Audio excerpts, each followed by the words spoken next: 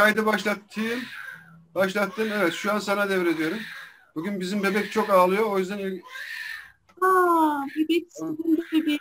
Ay biraz ay ay buraya da geldi geliyor. valla. Sesleri geliyor. Bana müsaade siz başlayın arkadaşlar. Tamam sana kolay gelsin. Kolay gelsin. Herkese Selime hoş Yoldaş, geldiniz. Musa Yoldaş. Top sizde. Ee, bir 5 dakikaya gidelim. Tamamdır. Ee, Mustafa yolda sen e, hallet e, ortamını. Biz buradayız. Biz gelenlere hoş geldin diyoruz. Herkes hoş geldi. Çok heyecanlıyız. Ee, Ebru'yu burada ağırlamaktan çok büyük mutluluk duyuyorum. Ee, Ebru hmm, çok kıymetli bir kardeşim, arkadaşım. Teşekkür ederim Selimeciğim. 5 dakika daha oyalanacağız. Tamam. Bu arada soruları olan arkadaşlarımız, dostlarımız varsa tabii ki imge terapi hakkında, organizasyonumuz hakkında her türlü soruya yanıt verebiliriz. Ee, lütfen e, sorunuz. Çünkü bizim sistemimiz soru cevap tekniği üzerine dayanıyor. Biz her şeyi soruyoruz danışanlarımıza. Ee, siz de bize sorabilirsiniz her şeyi.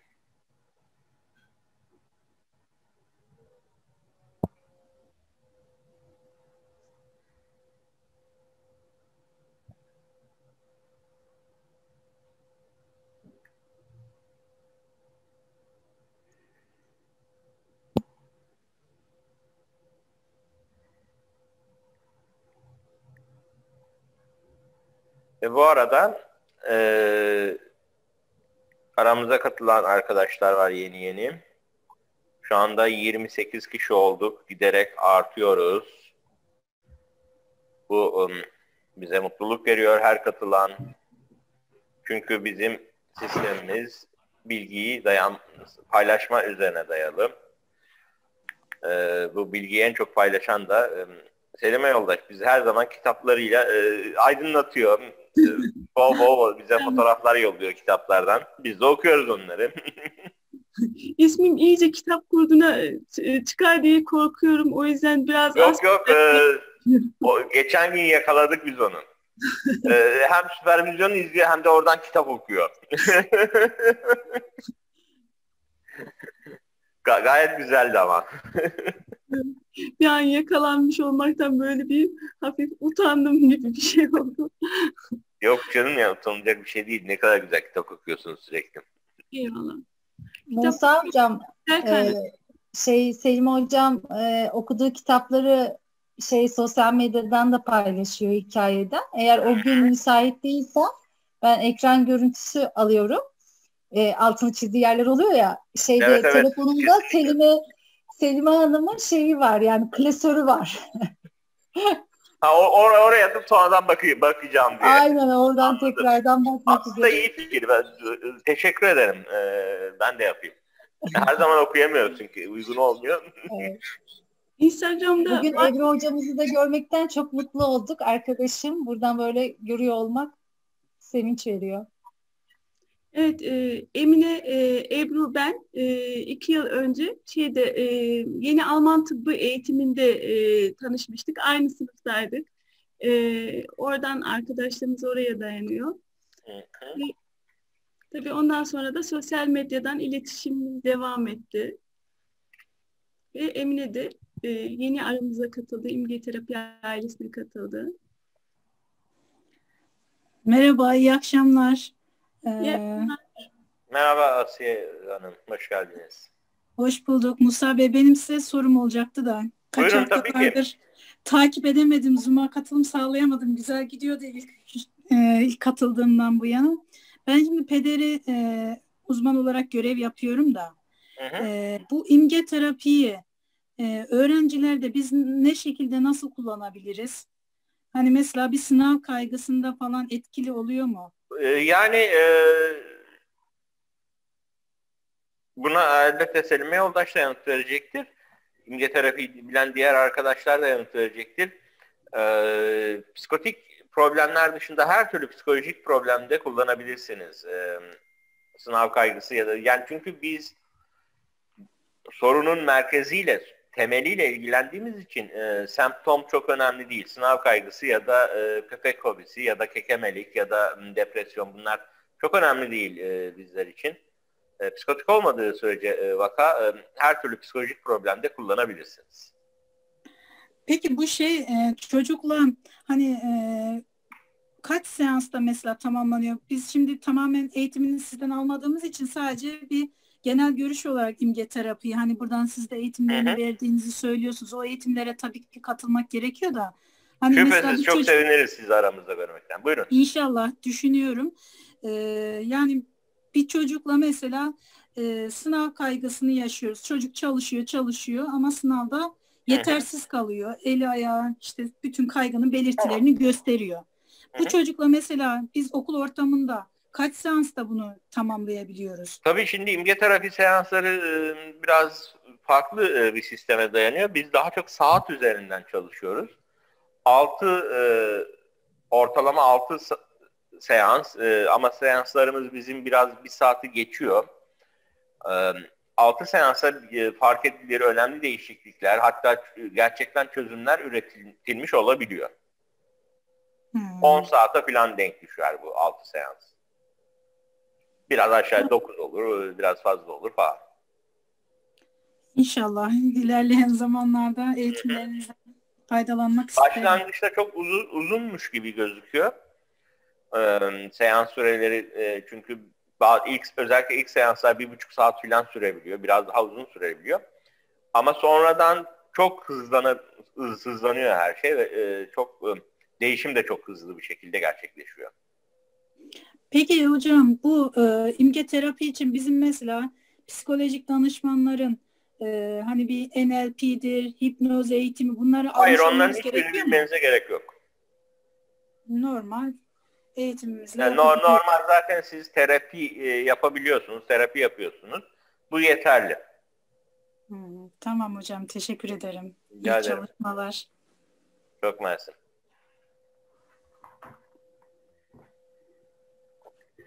Ee, müsaade ederseniz ben kısa bir şey paylaşmak isterim. Lütfen. Ee, Ben e, Selime sağ olsun Selime'nin e, vasıtasıyla imge terapiyle e, tanıştım. E, onunla deneyimleme şansım oldu. E, tam sayısını bilmiyorum ama sanırım bir 7-8 seans çalışma yaptık Selime ile. Hepsi çok keyifliydi. E, uzunca bir süredir de ben e, farklı e, çalışmalar içerisindeyim zaten. E, hem psikoterapi sürecim var hem e, farklı alanlarda farklı destekler alıyorum.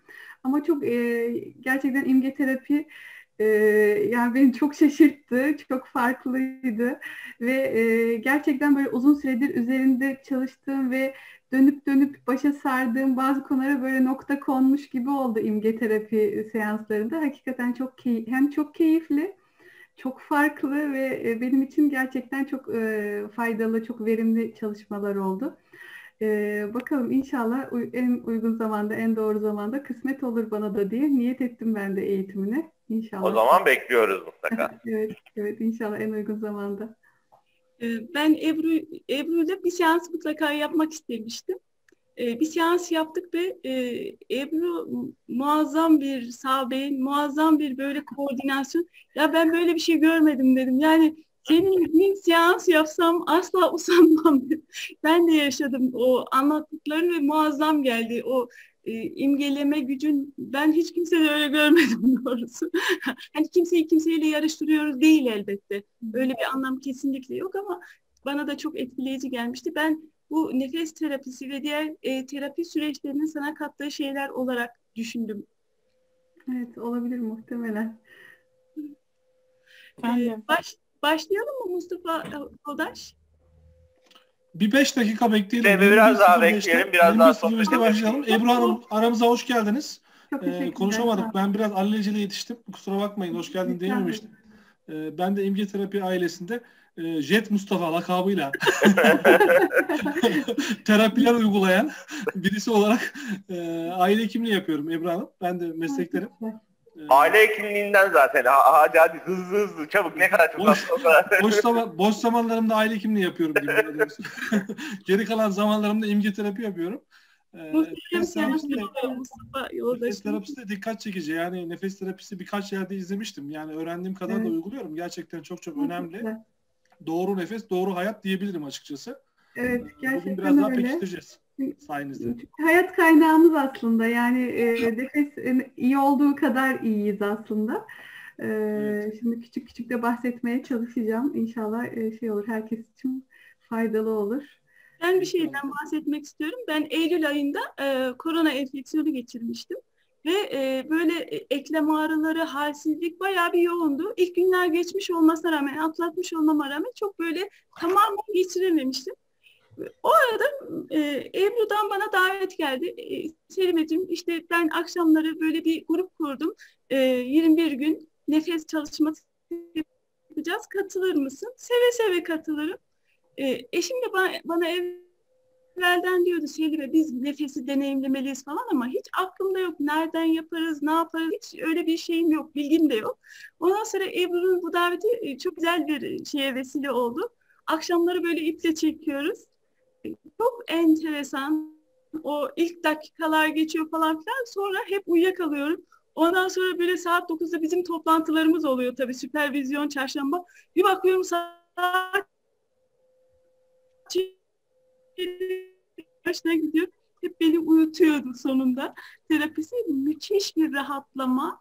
Muazzam bir şey. Gerçekten çok büyük bir hediyeydi benim için o şey. Ve e, o yüzden hani insanlar nefesi merak edenler bir şekilde buluyorlar, ulaşıyorlar ama e, İngiltere'yi de takip eden, bizleri takip eden belki insanlar böyle araştırma imkanı olmamıştır. Üzerinde durma imkanı olmamıştır. Bu onlar için vesile olacaktır belki de. İnşallah. Hem Ebru'yu hem de nefesi e, şekilde e, buluşturuyoruz insanlarla. Evet, inşallah çok keyifli bir e, şey olur. Bilmiyorum benim için çok heyecan verici. E, böyle meslektaşlarımın aynı alanlarda olduğumuz insanlarla bir arada olmak, onlara anlatmak. Uzun zamandır nefesin içindeyim ama e, hakikaten bu kadar profesyonel bir grubun içerisinde ilk defa böyle bir şey e, bilgi paylaşımı yapacağım.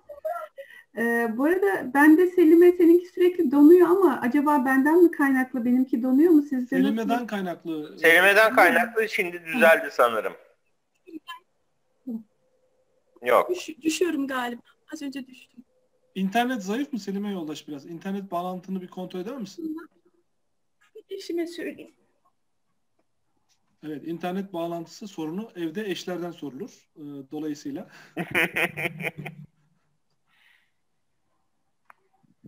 Ebru Yoldaş, e, biz yoldaş ifadesinden bahsedelim isterseniz. E, Selime Yoldaş bahsetmiştir. İmge terapi yolculuğundaki Aslında benim o zaman, o zaman yoldaş olarak yola çekeyim hemen. Hemen ben anlatayım.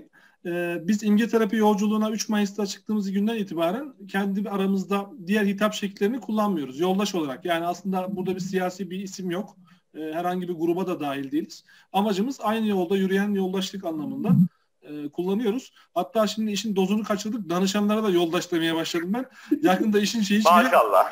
Açıklamaya çalışıyorum. Danışana yoldaş demişim geçen gün. Ya bana yoldaş falan dediniz dedi. Anlattım artık yani. Şimdi, hadi, hadi senin oğlanlığı anladık da. aynen yavaş yavaş yoldaşlık yayılıyor etrafa doğru. Ee, aramızda yoldaş ifadesi kullanmamızın herhangi bir siyasi tarafı yoktur. Tamamen imge terapi yolculuğu anlamına gelir. Yoldaşlığı anlamına gelir. Size de yoldaş diyebiliriz. Arada Ebru yoldaş. Onu belirtmek istedim.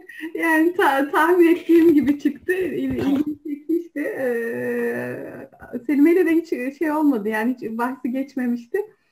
Ee, ama tahmin, öyle olduğunu tahmin etmiştim zaten. Çünkü bu bir yol arkadaşlığı. Biz danışanlarımızla aslında bir yol arkadaşlığı yapıyoruz. Onlara onların bir gittiği yol var. Biz o sürede sadece onlara eşlik ediyoruz. Onlara e, yoldaşlık yapıyoruz. E, her şeyi problemin tanımlamasını, problemin çözümünü danışanlar kendi içlerinde buluyorlar. Biz sadece orada e, rehberlik yapıyoruz onlara, yol arkadaşlığı yapıyoruz. E, bu yoldaşlık biraz da buna da, bu temele dayanıyor. E, danışan merkezli bir sistem tamamen. O, oradaki biz e, onun içindeki yanıtları onun görmesini sağlıyoruz sadece. Evet. Bu anlamda yoldaşlık çok önemli ve sistemimiz de sürekli gelişmekte. E, her hafta yeni bir şey e, daha koyuyoruz. E, sağ olsun Tuncay yoldaş bir uyusa da bir bir şeyler eklemese birkaç gün biz rahat etsek. E, sürekli gelişen de bir sistem e, bu anlamda. Selime Yoldaş geldiyse Musa Yoldaş Evet. isterseniz yavaştan Yavaş başlayabiliriz. yavaş başlayalım. Ee, buradayım. Bağlantımı değiştirmeye çalışıyoruz. Ee, buyurun sizler başlayın. Selime Yoldaş siz bağlanana kadar Ebru Hanım isterseniz e, kendinizle ilgili tanıtımı da size verelim. Öncelikle ailemize hoş geldiniz. E, Burada bulunduğunuz için çok çok teşekkürler. E, Söz sizde. Buyurun. Teşekkür ederim. Ebru Arıtürk ismim. Kadın hastalıkları ve doğum uzmanıyım. Nefes terapisiyle 2013 yılında mecburi hizmet e, görevimi yaparken orada yine mecburi hizmet görevi yapan bir arkadaşım, hekim arkadaşım vesilesiyle tanışmıştım. Ee, bir gün böyle çok e, işte zorlandığım, çok yoğun bir gün öğle- öğlen arasında e, beni biraz keyifsiz, tatsız görünce gel dedi sana beş, sadece 5 dakika dedi bir şey deneyimleteceğim.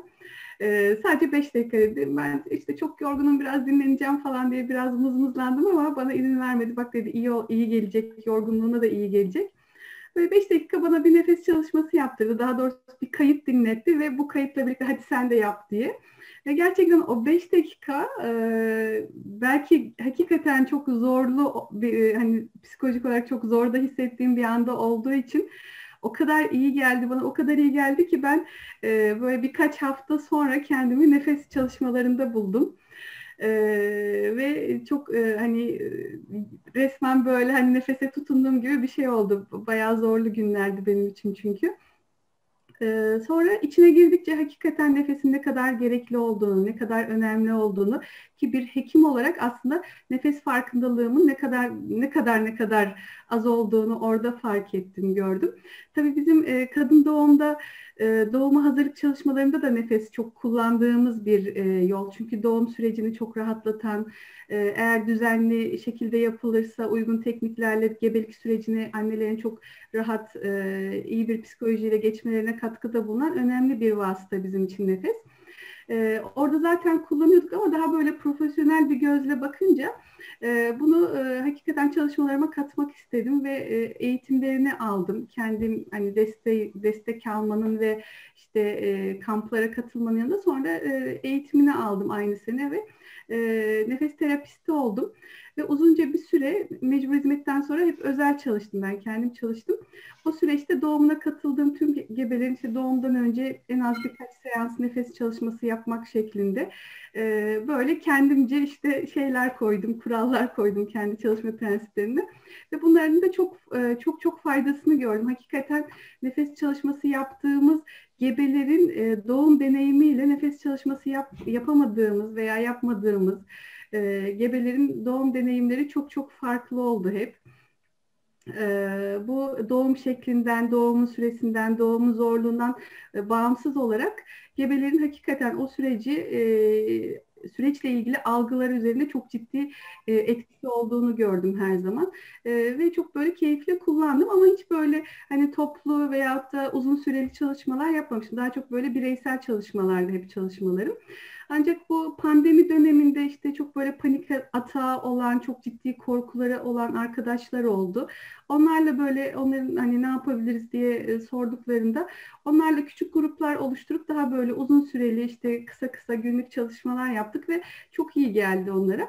Arkasından da böyle bir e, şimdi na- nasıl başlamıştı onu da tam hatırlamıyorum ama e, daha uzun süreli. Çünkü bu tarz çalışmalar bütün terapilerde olduğu gibi evet bir sefer nefesi deneyimlemek herkesi çok rahatlatıyor, çok iyi geliyor. İki sefer, üç sefer evet böyle. Ama e, daha uzun süreçli çalışmalara ihtiyaç oluyor. Benim katıldığım kamplarda da mesela 3 günlük ve 5 günlük kamplar vardı ve her her gün iki seans nefes çalışması yapılıyordu. Toplam 10 seans. Şimdi biraz sonra anlatacağım e, nefesin mekanizmasını, diyafram nefesini vesaire. E, 10 seansta diyafram ancak hareketlenmeye başlıyor. Şimdi tam hareketlenmeye başlıyor ve bırakıyoruz. As- ama aslında e, diyafram nefesinin bizim bedenimize e, veyahut da hani tüm boyutlarımıza olan katkısı diyafram nefesini almaya başladıktan sonra. E, yani bütün emeği veriyoruz, diyaframı hareketlendiriyoruz, sonra pat çalışma bitiyor. Ondan sonrasında herkes kendisine kadar götürürse öyle bir e, sistem var. Biraz oraya dayanarak daha uzun bir çalışma yapmaya niyet ettim. Ee, o niyetime ilk katılan, ilk cevap veren arkadaşlarımdan biri de Selime oldu sağ olsun. Ve hakikaten bunun sonrasında çok güzel, hani çok doğru bir karar olduğunu gördüm tüm gruplarda. Şu anda 5. grubumu devam ettiriyorum nefes çalışması olarak. 21 günlük çalışmalar yapıyoruz. Her gün bir seans, bir saatlik çalışma şeklinde kesintisiz böyle devam eden 21 günlük çalışmalar. Ve orada hani 20 10 günde nefes diyafram nefesi açılınca arkasından e, yaptığımız 10-11 e, günlük çalışmada da hakikaten o diyafram nefesinin getirdiği katkıları, getirdiği şifaları, hani meyveleri toplamış oluyoruz gibi öyle bir şey olduğunu gördüm. E, o yüzden de devam ettirdim bu çalışmalarımı. Şu anda güncel olarak böyle 21 günlük e, nefes çalışması yapıyorum. Hala devam eden bir e, grubum da var. E, bu akşam onlardan müsaade istedim buraya katılabilmek için. Yarın devam edeceğiz inşallah. E, benim nefesle olan şeyim bu şekilde. Hani maceram, yolculuğum bu şekilde oldu. Şimdi pek çok nefes tekniği var. Ben buradan devam ediyorum izin verirseniz. Ee, bir sunum hazırladım ama aslında çok sunum şeklinde de değil ama birkaç tane içindeki diyafram kasını vesaire gösteren fotoğraf iyi olabilir. Anlattıklarımı daha böyle elle tutulur somut kılma açısından. O yüzden eğer mümkünse onu açabilirsek oradan devam edeyim.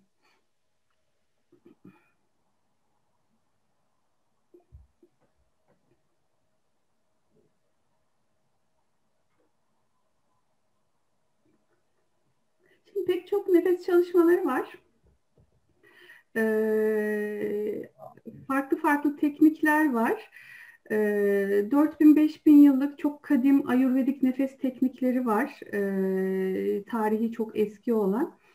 Ancak e, bütün nefes çalışmalarında ağızdan alınan nefesler, burundan alınan nefesler, teknik nasıl olursa olsun aslında bütün nefes çalışmalarının nihai amacı diyafram kasını çalışır hale getirmektir. E, diyafram kasımız e, bizim diğer bu kolumuzda, bacağımızda bulunan kaslarımız gibi çizgili kas, bildiğimiz kırmızı çizgili kaslar. E, yani bu kaslarımızın özelliği ne? Bu kaslarımızın özelliği bizim e, işte denetimimizde istemli olarak bu kasları çalıştırabiliyor olmamız ama aynı zamanda istemsiz de bu kaslarımızın faaliyet gösteriyor olması. Yani bizim hem otonom sinir sistemimizin bir parçasılar. Bizi e, farkında olsak da olmasak da e, çalışıyorlar e, refleksi olarak.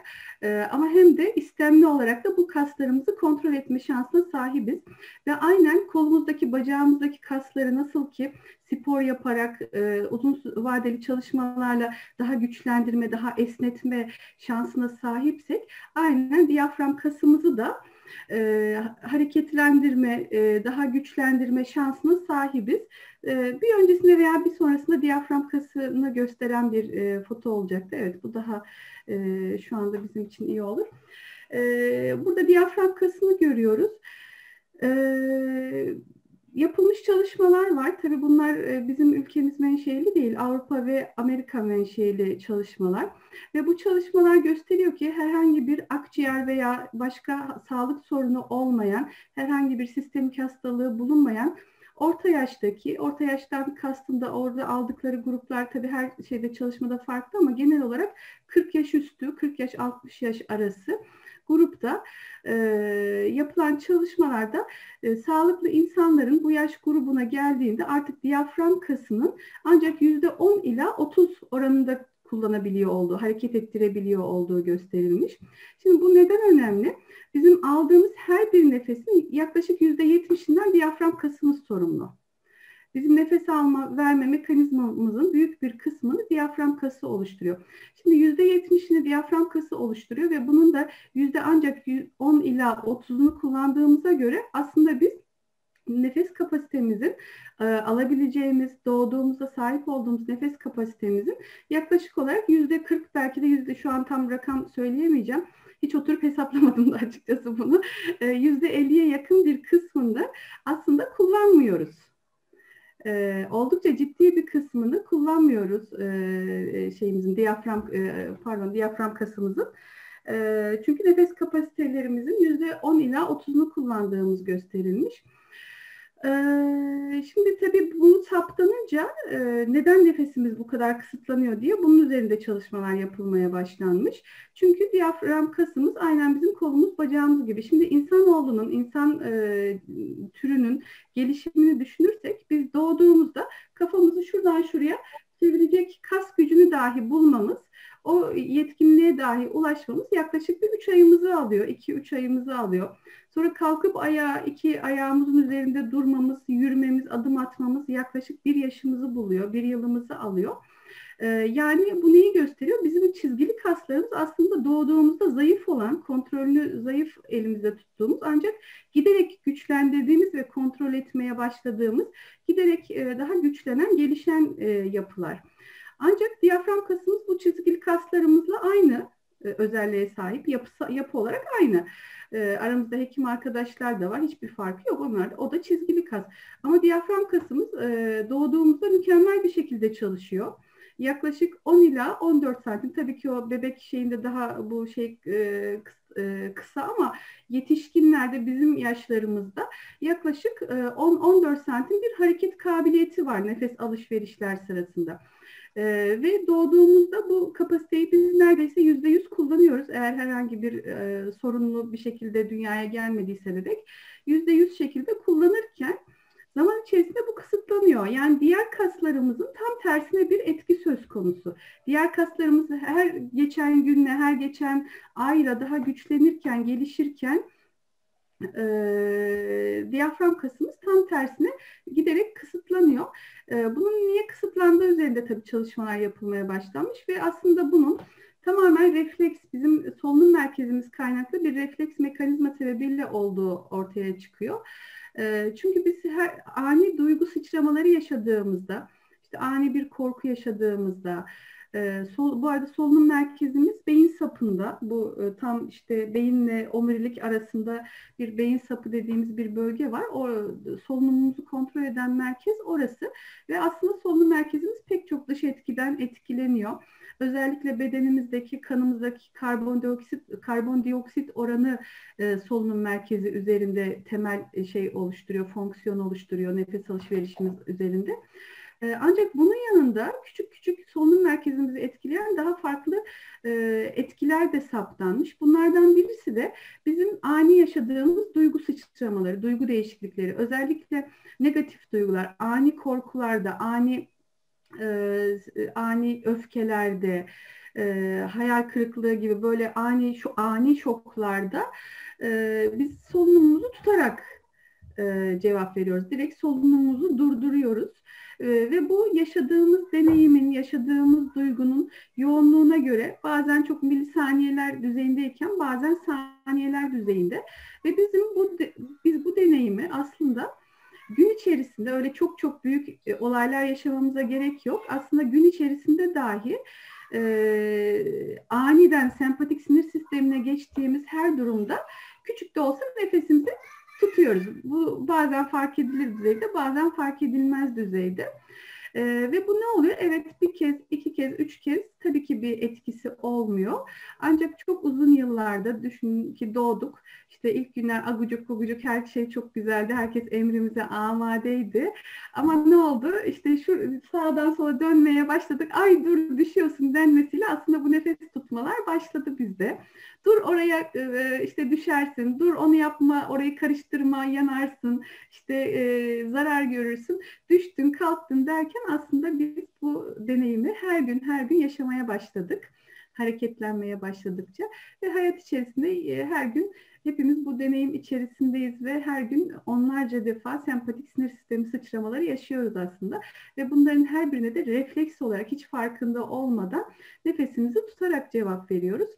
Ee, ve bu ufak ufak nefes tutmalar ne yapıyor? Bizim diyafram kasımızı eğer konuda özel bir farkındalık geliştirmediysek, özel diyaframımızı çalıştıracak egzersizler yapmıyorsak, buna e, özen göstermiyorsak diyafram kısmımızda yavaş yavaş e, kısıtlanmaya sebep oluyor ve yıllar içerisinde diyafram kasımızın hareket kabiliyeti giderek azalıyor. Bu da ne oluyor? Diyafram kasımız ne kadar e, hareketi kısıtlandıysa o oranda bizim de nefesimiz kısıtlanmaya başlıyor. Bu şekilde bizim e, nefesimizin işte 40'lı yaşları artık geçtiğimizde yaklaşık %10 ila 30'unu kullanacak kadar ki çok dramatik bir rakam bence. Ben bunu duyduğumda şok olmuştum. Hiç inanmak istemedim. E, %10 ila 30 oranında ancak e, nefes kapasitemizin bu kadarını kullanabildiğimiz ortaya çıkıyor. Ki bu sağlıklı e, insanlarda. Bir de bunun akciğer hastaları var. Bir göğüs uzmanı bir arkadaş katılmıştı e, bir çalışmama. E, o şey demişti yani zaten bir kuahda, astımda diyafram hareketi neredeyse sıfır, neredeyse diyafram hiç hareket etmiyor demişti ki düşünün yani e, nefesimizin yüzde yetmişinden sorumlu olduğunu düşünürsek diyafram kası hiç hareket etmiyorsa demek ki bu insan nefes kapasitesinin yüzde yetmişinden mahrum olarak yaşıyor zaten bir akciğer hastalığı olan bir hasta. Ee, işte o hastalığı olmayan bizler de onlardan daha hallice olarak yüzde on ila 30'unu kullanabiliyoruz bundan. Böyle çok aslında dramatik şartlarda e, hayat hayatımızı götürmeye çalışıyoruz. Hatta ben bunu öğrendiğimde ilk aklıma gelen şey şu oldu. Hani bu kadar kavgaların, gürültülerin, savaşların olması hiç şaşırtıcı değil. Hani bu kadar e, şeyle kısıtlı bir şeyle yaşamaya çalışıyorsak tabii ki o sıkışıklığı biz de hayatımıza aksettireceğiz, hayatımıza yansıtacağız. E, sonuç olarak yani bizim e, içsel e, dünyamızda ne oluyorsa aslında e, dışarıda da onun bir yansıması e, devam ediyor. E, nefesimiz bu şekilde kısıtlanıyor ve bizim yaptığımız e, benim deneyimlediğim, benim eğitimine sahip olduğum nefes tekniği transformal nefes, diğer ismiyle dönüşümsel nefes olarak e, da geçiyor e, yaygın olarak kullanılan bir nefes tekniği. Ancak bunun yanında teknik ne olursa olsun ismi e, hani böyle stres altında olan insanları durdurup şey diyorlar ya hadi, hadi dur bir nefes al. Evet, bir nefes al. Evet, değil mi?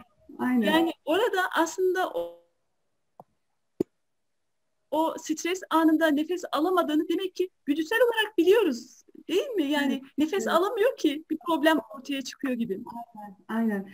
Ee, işte bedenin bilgeliği aslında yani o bedenin bilgeliğini görenler, okuyanlar onu zaten hiç böyle bir bilgiye sahip olmadan da e, dile getiriyorlar. E, veya hani e, bilmiyorum burada o kadar vaktimiz olacak mı ama bazı böyle hangi duygularda hangi nefesleri kullanabiliriz orada bazı çalışmalar var. Sizin şeyde herhalde paylaşmıştık onu.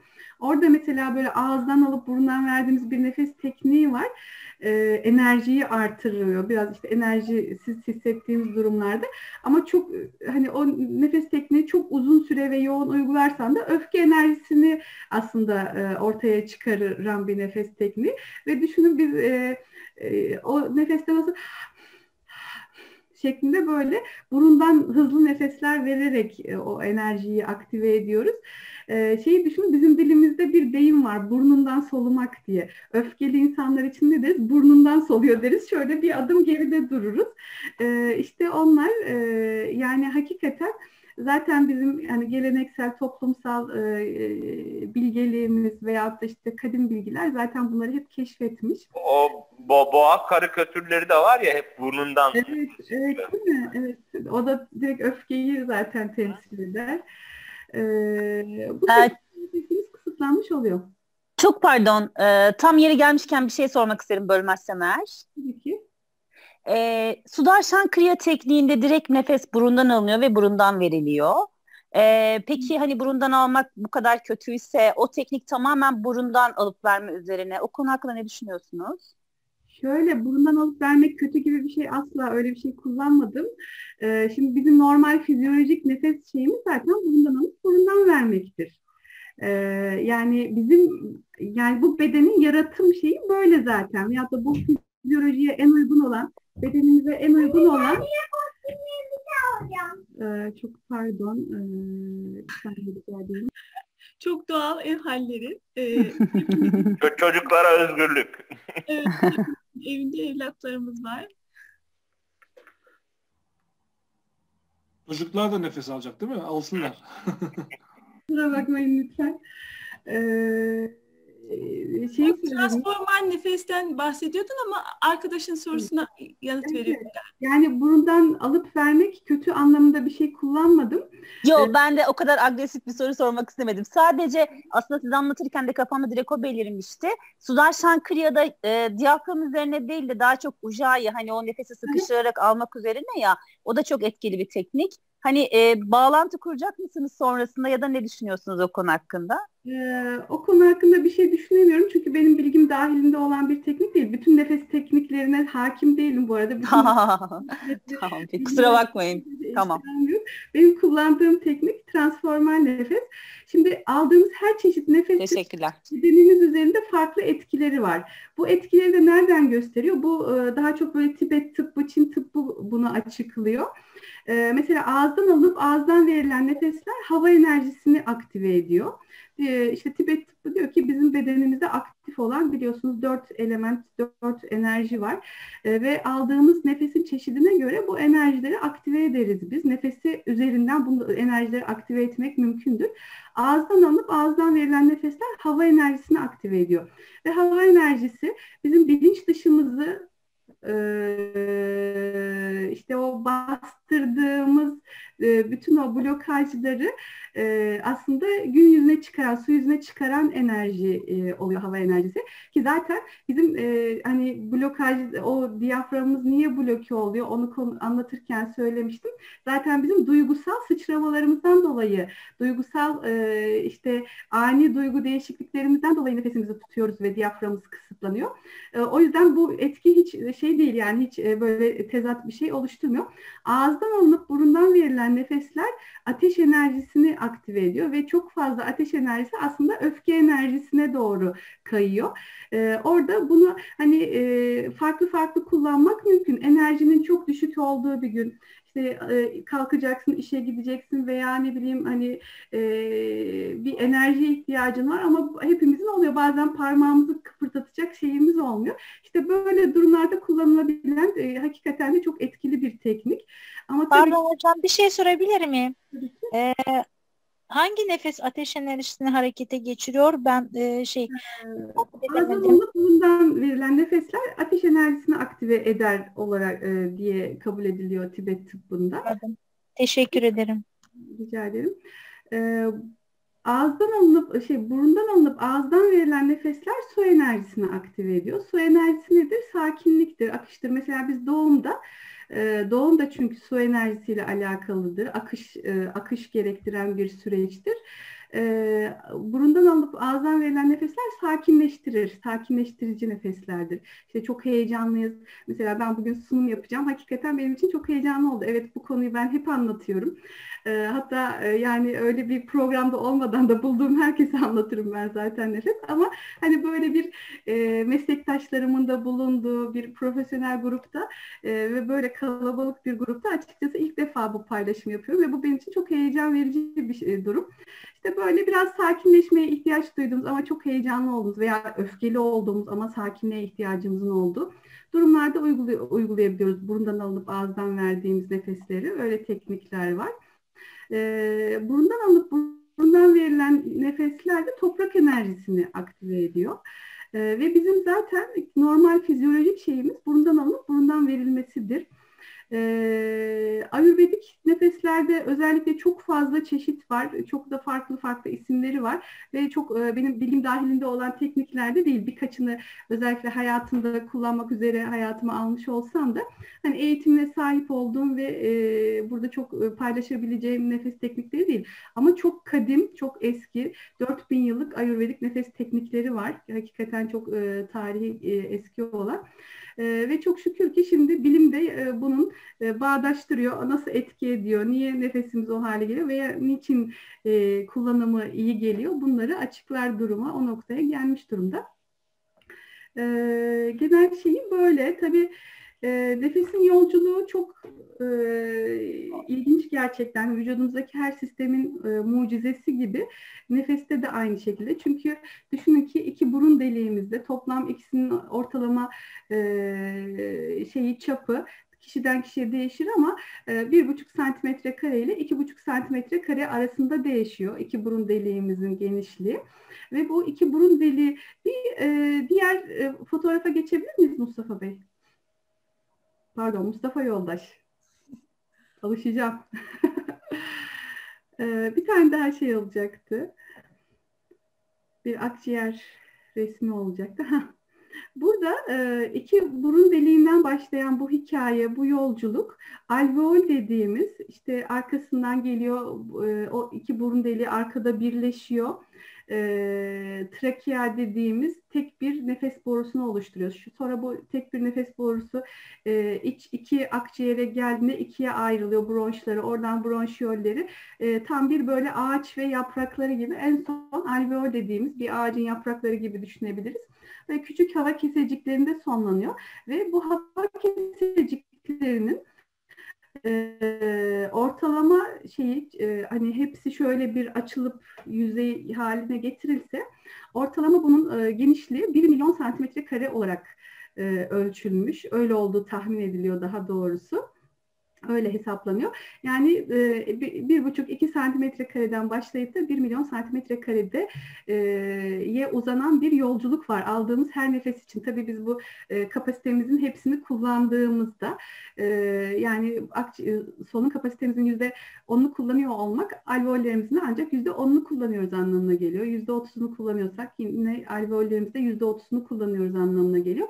Ama biz bunun tamamını kullanabilsek e, her al, nefes alışverişimizde e, aldığımız her nefesi bir buçuk iki santimetre karede alıp bir milyon santimetre karede e, bu şeyi e, yayacağız. Her biri oraya o kadar geniş bir yüzeye temas edecek aldığımız her bir nefes.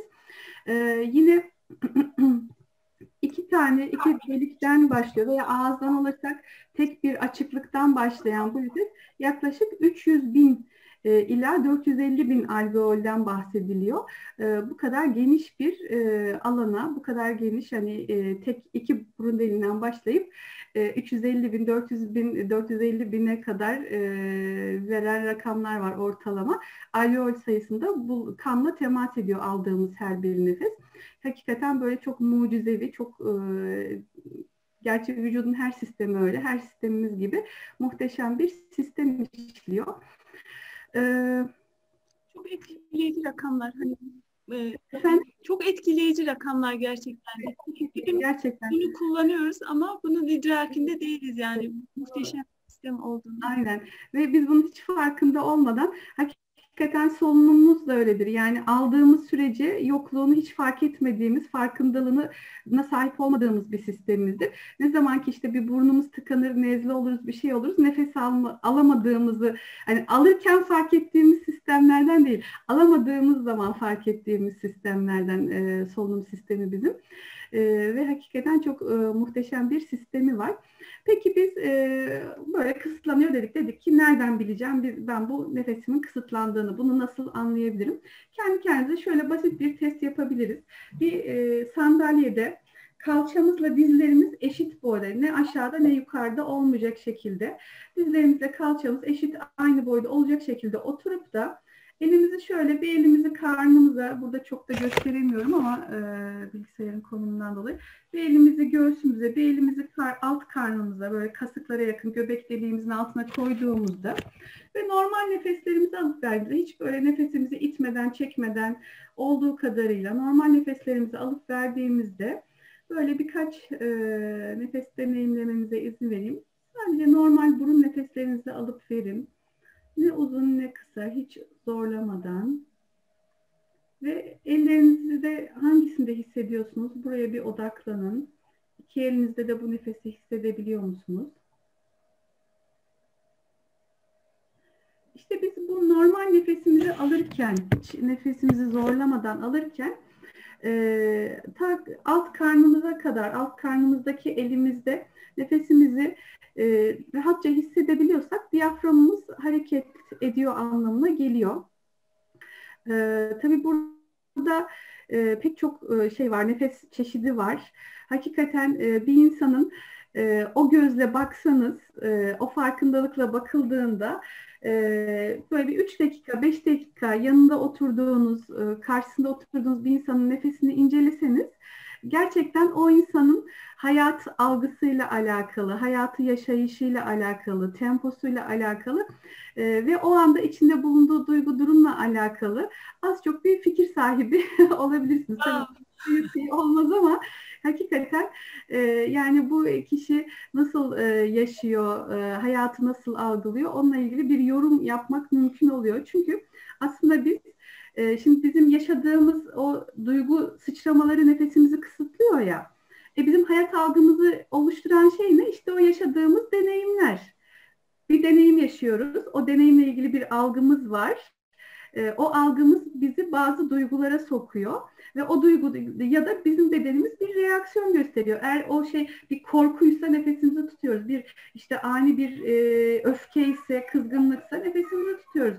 Ani bir stresse, bir şoksa yine nefesimizi tutuyoruz. E, ve ne oluyor? Ee, nasıl biz imge terapide kişilerin e, hani tomografisini çekiyoruz, algı sisteminin, duygu sisteminin, hissiyatlarının e, nefes de aynı şekilde o da bir çeşit röntgeni gibi oluyor, o da bir çeşit taraması Aynen. gibi oluyor. Aynen. Duygusal sisteminin durumunu oradan görebiliyoruz. Yani imge, imge terapiyle bu noktada bir benzerlik kurdum şu anda. Evet, işte yani o yaşadığımız deneyimler nefesimizi şekillendirdiği için Aynı deneyimler bizim hayat algımızı, hayatı yaşayış şeklimizi de oluşturuyor. O yüzden hani nefes, e, ilk böyle nefesle tanıştığımda bir hocamızın söylediği bir söz vardı. Hakikaten çok e, bunu defalarca deneyimleyerek gördüm ben de. E, nasıl yaşıyorsak öyle nefes alırız veya tam tersi nasıl nefes alıyorsak öyle yaşarız aslında hayatı da. O yüzden bir insan şöyle bütün bedeniyle zorlayarak nefes alırsa aslında o insan bütün hayatı da öyle zorlayarak, efor sarf ederek, hep zorlanarak yaşıyordur aslında. Ne bileyim e, mesela göğüs saf göğüs nefesi varsa, karına hiç inmiyorsa nefes. Şimdi hepiniz de biraz kendinizi test ettiniz. Oradan e, küçük yorumlar olabilir. Genellikle e, saf göğüs nefesi daha böyle duygusal, işte duygusunu çok ifade edemeyip içine atmak durumunda kalmış, duygusunu ifade edecek cesareti gösterememiş e, bireylerin oluşturduğu nefes e, türü oluyor. Veya daha çok böyle güçlü karın nefesleri alıyorsak, e, göğsümüz çok fazla hareket etmiyorsa aslında bu da biraz böyle hayatı hep kontrol altında tutma çabamızın, işte e, her şeyi müdahale etme, her şey kontrolüm altında olsun. Daha çok bu tarz bir hayatın göstergesi e, olabiliyor. Tabii ki bu yani hiçbir şeyle o hani herkese çok özel. Yüzde yüz böyle diyemeyiz ama genel itibariyle bizim nefesimizi şekillendiriyor hayatı yaşayış şeklimiz. Bu sebeple şey önemli e, biz de hani kendi kendimize diyaframı bu şekilde diyafram nefesim, diyafram kasım çalışıyor mu çalışmıyor mu bunu kontrol edebiliriz. E, peki diyafram kasımızın çalışmadığının başka ne gibi göstergeleri olabilir? Aslında biz e, nefes düşününce bizim e, onsuz yapamayacağımız hayattaki tek şey aslında. Yani yemeksiz bir süre yapabiliyoruz. Hatta ne kadar az yemek ise o kadar sağlıklı şekilde hayatımızı e, hani ağzımıza ne kadar az şey giriyorsa o kadar sağlıklı oluyoruz bedensel olarak, fiziksel olarak. E, su bile e, evet çok önemli ama hani suyun bile belli bir şeyi var. Hani susuz bile yaşamanın belli bir e, sınırı var bedenimiz için. E, ama e, şey için ne e, yani e, nefessiz yaşama şansımız yok. E, nefes bedenimiz bu beden deneyimimiz için kesintisiz akması gereken tek şey, tek unsur. Kesintisine asla tahammülümüz olmayan tek unsur. Ee, ben bunu bir şey söyleyecektim, onun için söyledim ama şu an unuttum ne söyleyeceğimi çok iyi. Ee, ve bu nefesimizi açmak da tabii ki bizim hayat kalitemizi o derecede artırıyor. Ha şey söyleyecektim, yani e, bu testi yaptık ama hayatımızdaki bedensel olarak şeyleri neler olabilir? Bizim nefesimizin kısıtlanmış olduğunun göstergeleri neler olabilir? Birincisi sürekli yorgun olmak, enerjimizin düşük olması, kolay sinirleniyor olmak ki bunlar aslında bizim hayat içerisinde ne kadar da olağan kabul ettiğimiz şeyler, ne kadar da sıradan ve herkes herkes zaten bu şekilde gibi kabul ettiğimiz şeyler. Sabahları enerjisiz uyanmak, yataktan çıkamamak. E, bunların hepsi aslında bizim hayat kalitemizin düşük olduğu, yaşam enerjimizin düşük olduğunu gösteren e. Tabii ki bunu etkileyen saydığım tüm bu şeyleri e, etkileyen çok fazla fa- faktör var. Ama bu e, etkileyen faktörler arasında en önemlilerinden biri de nefesimizin kısıtlanmış olması. Ne kadar çok kısıtlandıysa o oranda da bizim hayat kalitemiz, yaşam enerjimiz düşüyor. Yine odaklanma sorunu yaşamak, işte e, konsantre olamamak bunların hepsi bizim nefes kapasitemizin ne kadar da kısıtlı olduğunun birer göstergesi. Peki bu nefes kapasitemizi nasıl açabiliriz? Bunun için pek çok teknik var. Ee, bunlardan bir tanesi de benim kullandığım teknik. İnşallah şey olursa e, zamanı güzel kullanabilirsem kısa bir çalışma yapalım istiyorum. Bir deneyimimiz olsun istiyorum. Bütün tekniklerde neredeyse tabii ki biraz önce o arkadaşımızın da paylaştığı gibi böyle spesifik işte belli duygular için, belli amaçlar için kullanılan farklı şeyler var. Ama genel olarak bütün nefes yollarında temel amaç diyafram kasını çalışır hale getirmektir. Ee, dönüşümsel nefeste de bu böyle.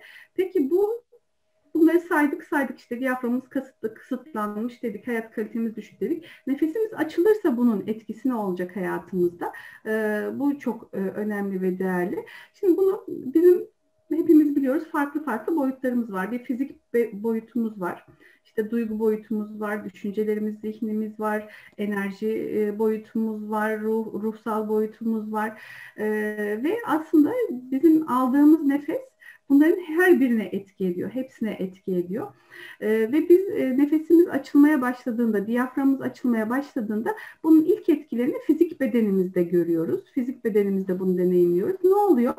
Şimdi e, bir e, Mustafa Bey diğer şeye geçebilir miyiz? Diyafram e, kasını gösteren resme geçebilir miyiz? E, çok e, zengin zaten resim şeyin iki resim arasında gidip geliyoruz. E, şimdi bu ilk e, baştaki şey Nefes aldığımız sırada diyaframın aldığı şekil.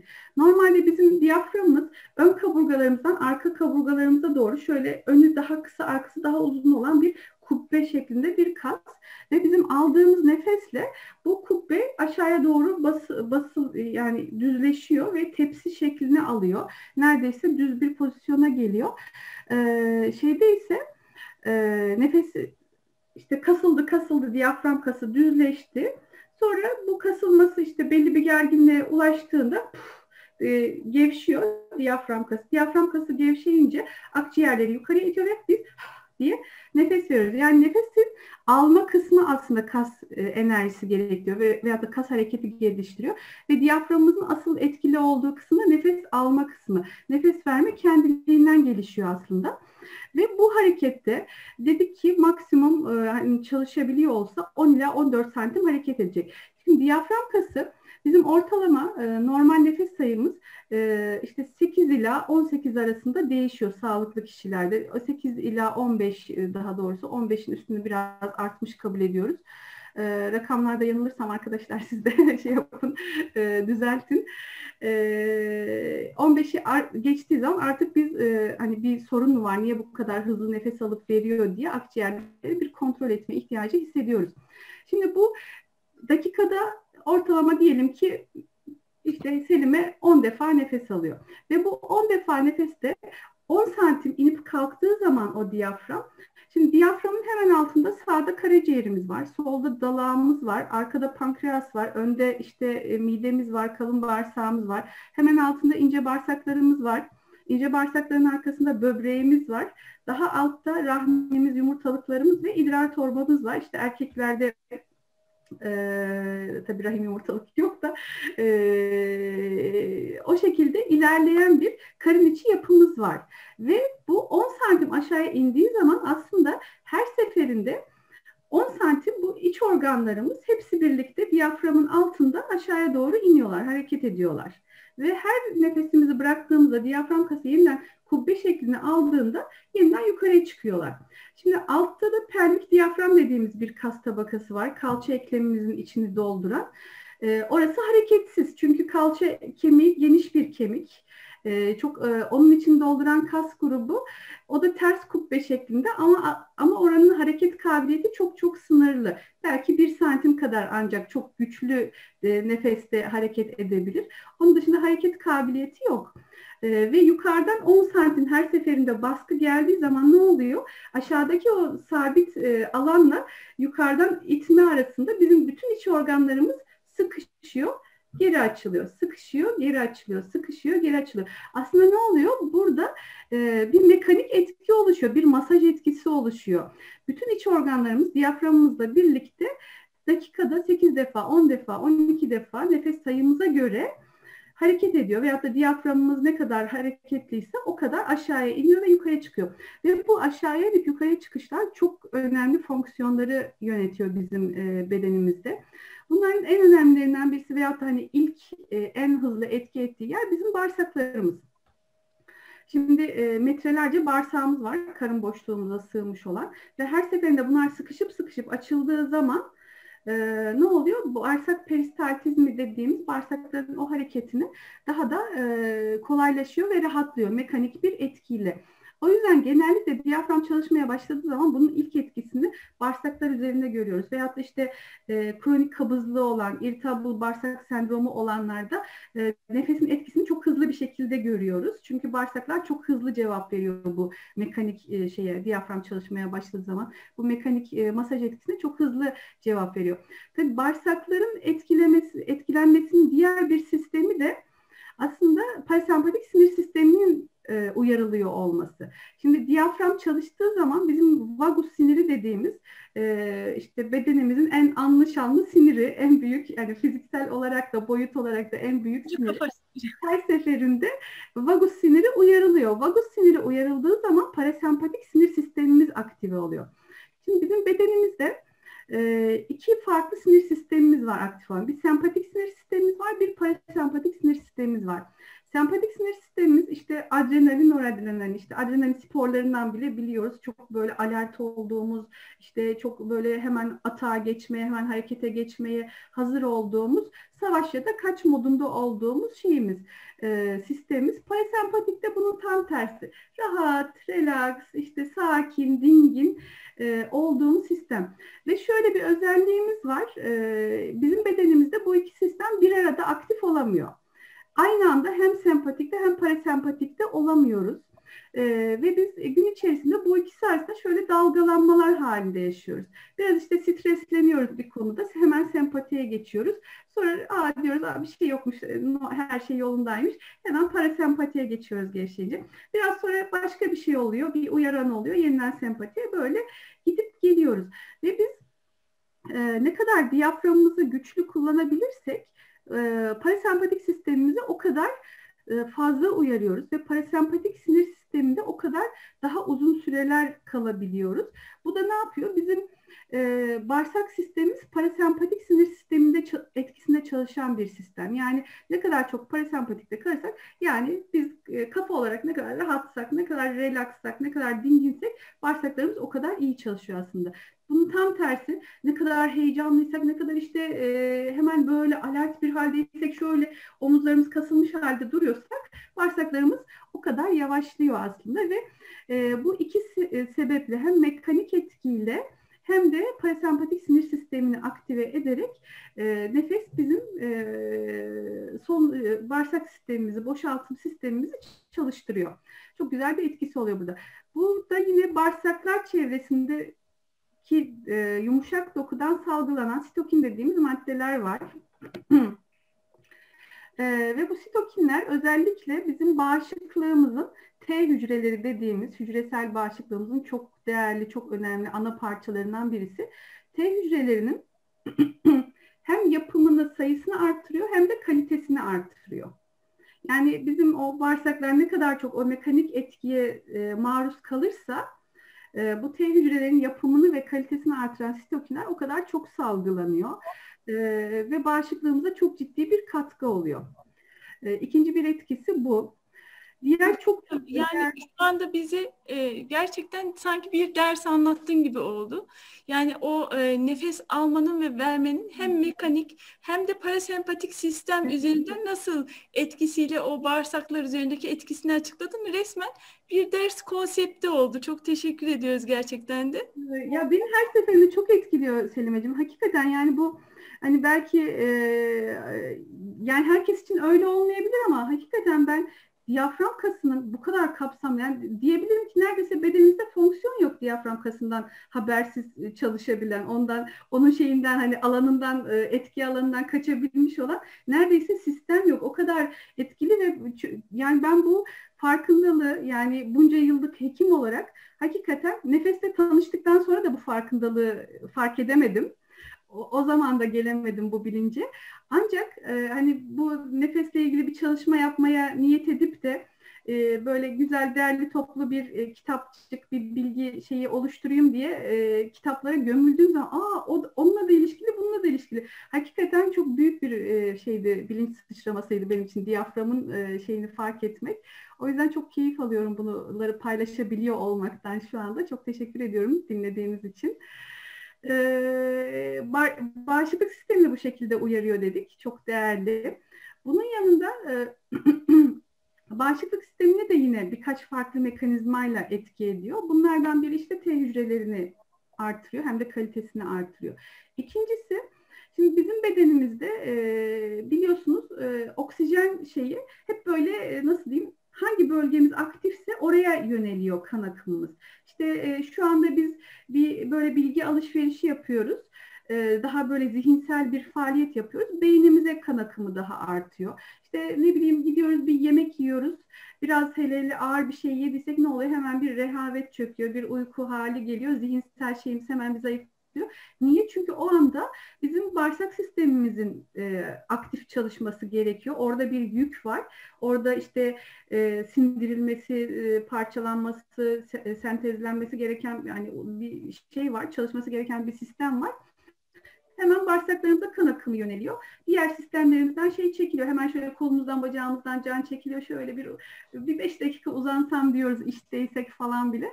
E, veyahut da ne oluyor? Böyle bir e, yolda karşımıza bir köpek çıkıyor, bir şey oluyor, bir köpek kovalıyor. Ne oluyor? Biz hızlı hızlı hemen koşmaya başlıyoruz veya bir şeyden korkuyoruz, bir acelemiz oluyor. Hemen kaslara gidiyor o kan akımı. Diğer tüm şeylerden çekiliyor, kaslara veriliyor. Böyle bir çalışma mekanizması var vücudumuzun. Hep oradan al oraya ver, oradan al oraya ver şeklinde. Ve biz ne kadar diyaframımızı güçlü kullanabiliyorsak, ne kadar güçlü diyafram nefesleri alabiliyorsak aslında bedenimizin tüm sistemlerine optimum düzeyde işte birinden e, al, ne bileyim yüzde otuzunu alacaksa belki yüzde yirmisini almaya diyafram açıklığına göre ihtiyaç duyacak.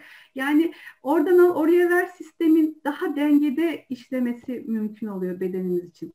O zaman da ne oluyor? Bedenimizin her köşesi optimum düzeyde oksijenlenmiş oluyor. Her sistemine e, gidebilecek e, tabii ki yüzde on nefesimizi kullanırken bile gidebileceğin en iyisi gidiyor zaten. Beden zaten yapabileceğin en iyisini yapıyor.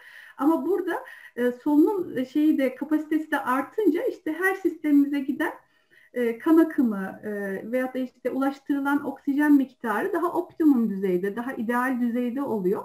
Bu da aslında bizim bütün sistemlerimiz için bağışıklığın uyarılması demek. Bağışıklık sisteminin e, iyi çalışması demek. Hastalıklara karşı, toksinlere karşı, e, kanserojenlere karşı e, bedenimizin e, koruma mekanizmalarının o kadar güçlü olması demek. E, bir diğer yine bağışıklık sisteminin önemli şeylerinden birisi bizim lenfatik sistemimiz. Çünkü bizim e, aynen kan damarlarımız gibi de lenf damarlarımız var. Lenf sistemi bedenimizin hani lağım sistemi diye adlandırabiliriz. Ve aslında e, o lağım sistemi tıkansa bizim hani belki 24 saat bile sağlıklı şekilde hayatımızı devam ettirme şansımız yok. Şimdi bu lenf düğümlerinin de yine ana lenf düğümlerimiz karın içerisinde.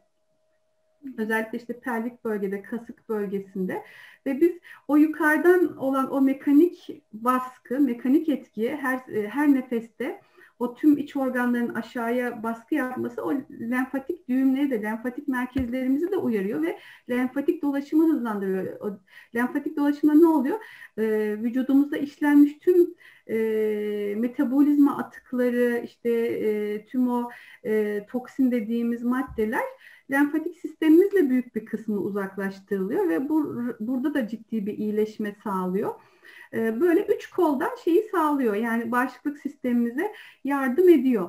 Yine solunum, nefesin kendisi bizim toksin atma mekanizmalarımızdan birisi.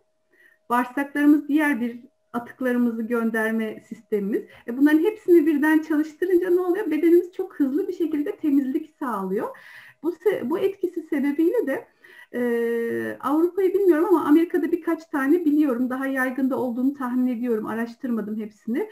E, ama özellikle kanser kliniklerinde kullanılan, uygulanan kemoterapiye, radyoterapiye ek olarak e, kullanılan şeylerden, e, tedavilerden birisi. Tedavinin bir parçası nefes terapisi.